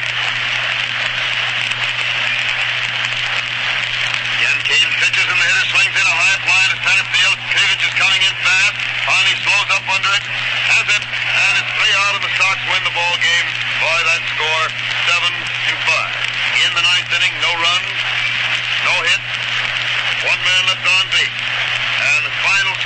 total, White Sox had seven runs, ten hits, three errors, and eight men left on the bases. The A's had five runs, ten hits, three errors, One hour and they had uh, seven men left on the bases. Time of the game, one hour and 53 minutes. 153. The winning pitcher, of course, was Cain, and the losing pitcher was Fink. The summaries again. White Sox had seven runs, ten hits, three errors, with eight men left on base. The Athletics five runs, ten hits, three errors, and seven men left on base. Time of the game an hour and 53 minutes. The winning pitcher Cain, the losing pitcher Fink. Tomorrow the White Sox and Athletics play the final game of this series, and then on Friday the Boston Red Sox come to town. And Friday is ladies' day. Ladies admitted without ticket. All they got to do is get that tax ticket that the government requires. It's a doubleheader Sunday between the White Sox and Red Sox here at Comiskey Park, and we'll be seeing you a lot the rest of the week, won't we? That's all for now. So Hal Totten speaks for George as well as himself. Bid you good afternoon from Comiskey Park, and we return to the studio. Goodbye now. Now stands two wins for the White Sox and one for the Athletics. I don't know who will pitch for the White Sox. Teddy Lyons may be nominated to go into action against the Athletics. And Connie Mack's pitching selection is also a mystery because Connie rotates his hitters as he sees fit. The time of the game, 1 hour and 54 minutes. 7 to 5, Chicago coming from behind with a four-run rally in the last half of the seventh inning to sew up the ball game. That's all for today, ladies and gentlemen, for Phillips 66. Don't forget to tune in this evening at 8 o'clock for the March of Sports. This is Russ Hodges speaking from the ballpark, and you. All right, thank you, Russ. There's no question about it. All gasolines, or nearly all of them, are better than they used to be. They've all been improved, stepped up, made pure, and freed from knots. But only Phillips offers you at all its stations the benefits of the new scientific polymerization process. Every gallon of Phillips 66 polygas is enriched with the resulting extra energy units. Notice the difference the first time you try a tank full. Your motor runs sweeter, quieter, smoother, and cooler with extra power and extra mileage. And the big news is that you don't have to buy a single penny extra for this wonderful new hot weather gasoline. For just the price of ordinary motor fuel, buy Phillips 66 Polygas. Phillips 66 has brought you the baseball game by permission of the Chicago White Sox and the Philadelphia Athletics to stimulate interest in our national game and in your local team no matter where you may be. Don't forget, the Phillips Petroleum Company will present Russ Hodges again tomorrow in the broadcast of another baseball game from Comiskey Park. Be sure to listen in tonight at 7 o'clock for the reenactment of today's Cubs game, dramatized. W-I-N-D and Gary, the tip-top spot on your dial. The game between the Boston Red Sox and St. Louis Browns has just concluded the third inning. The score, Boston 1, St. Louis 5. Boston using Ostermueller as the pitcher and Berg the catcher. St. Louis, Hogsett the pitcher and Giuliani the catcher. Going into the last half of the seventh inning at Detroit, the New York Yankees 13, Detroit Tigers 1. The batteries in the game for New York, Ruffing the pitcher, Dickey the catcher. For Detroit, Sullivan, Hawker, and Kimsey all doing the pitching, and Myatt the catcher. While we wait for the rest of the scores, let me tell you ladies of the wonderful opportunity that's awaiting you at Newart. You can actually get the smart new dresses you need. Fresh, clean frocks that will carry you through the rest of the summer in beauty and comfort at a low sale price right now when you need them most. Values to $8.95. Satins, shears, nets, crepes, every fabric that's popular in white, pastel shades, print, and even some new blacks. And they're just $2.95 on terms of 25 cents down and 25 cents a week without interest or carrying charge. Go to Newart and see these extraordinary values for yourself. there's a complete selection in your size, and Newart's courteous clerks are truly eager to help you. For 25 cents down, and no red tape or fuss at all to take your choice right home with you. It's Newart, 232 South State Street and 6319 South Halsted Street. Now here come the scores in the National League. At Boston, the end of the first game of a doubleheader, the Pittsburgh Pirates, one run, nine hits, and two errors. Boston, four runs, ten hits, and three errors. Boston four, Pittsburgh one. The batteries for Pittsburgh, Swift, Welch, the pitchers, and Padden, the catcher. For Boston, MacFayden, the pitcher, and Lopez, the catcher. A final score of the second game that has just come in. Pittsburgh, 10 runs, 16 hits, and one error. Boston, 4 runs, 9 hits, and 2 errors. Pittsburgh, 10. Boston, 4. The batteries in the game. For Pittsburgh, Weaver and Brown, the pitchers. Padden and Finney, the catchers. For Boston, Smith and Rice, the pitchers, and Mueller, the catcher. The final score of the first game of the doubleheader between the St. Louis Cardinals and Brooklyn Dodgers. St. Louis, 7, and the Brooklyn Dodgers, 22. The total, St. Louis, 7 runs, 7 hits, and 3 errors. The Brooklyn Dodgers, 22 runs, 21 hits, and 1 error. Batteries in the game for St. Louis, Parmelee and Davis. For Brooklyn, Van Lingle Mungo, the pitcher, and Berres, the catcher. At the end of the fourth inning of the second game, the St. Louis Cardinals 5, Brooklyn Dodgers nothing. The batteries working that game for St. Louis, Big George Earnshaw, the pitcher, and Ogrodowski, the catcher. For Brooklyn, Park and Butcher, the pitchers, and Phelps doing the backstopping. The doubleheader between the Cincinnati Reds and the Philadelphia Phillies was called because of wet ground, being able to play neither of the two games scheduled. The final score between the Chicago Cubs and the New York Giants played at New York. Chicago 2, New York Giants 7. The totals, Chicago 2 runs, 8 hits, and 2 errors. The New York Giants 7 runs, 12 hits, and 1 error. The batteries for Chicago. Big Bill Lee started, Bryant relieved, and Root relieved Bryant. Three pitchers, Lee, Bryant, and Root, and Gabby Hartnett behind the plate. For New York, Gabler the pitcher, and Gus Mancuso the catcher. Fellows, you don't know what real comfort is until you've worn one of the smart new summer suits that Newart are featuring. Nationally advertised, genuine loom cool and beach weave masterpieces in single and double-breasted models. Porous, lightweight suits that let the air circulate close to your body are priced just $12.50. And all you need is 50 cents down to take your suit home with you. 50 cents a week will take care of the balance, and at Newart, there's never any interest or carrying charge. And while you're there, don't fail to see the smart accessories on display. Shirts and ties, polo shirts, white vinyl trousers, white shoes, all at the Loop store. Get everything you need at Newart on easy credit. Go to Newart, N-E-W-A-R-T, Newart, 232 South State Street and 6319 South Halsted Street. Open Tuesday, Thursday, and Saturday evening. Listen tomorrow right after the game for scores of other games presented by Newart, Chicago's favorite family credit clothier. WIND.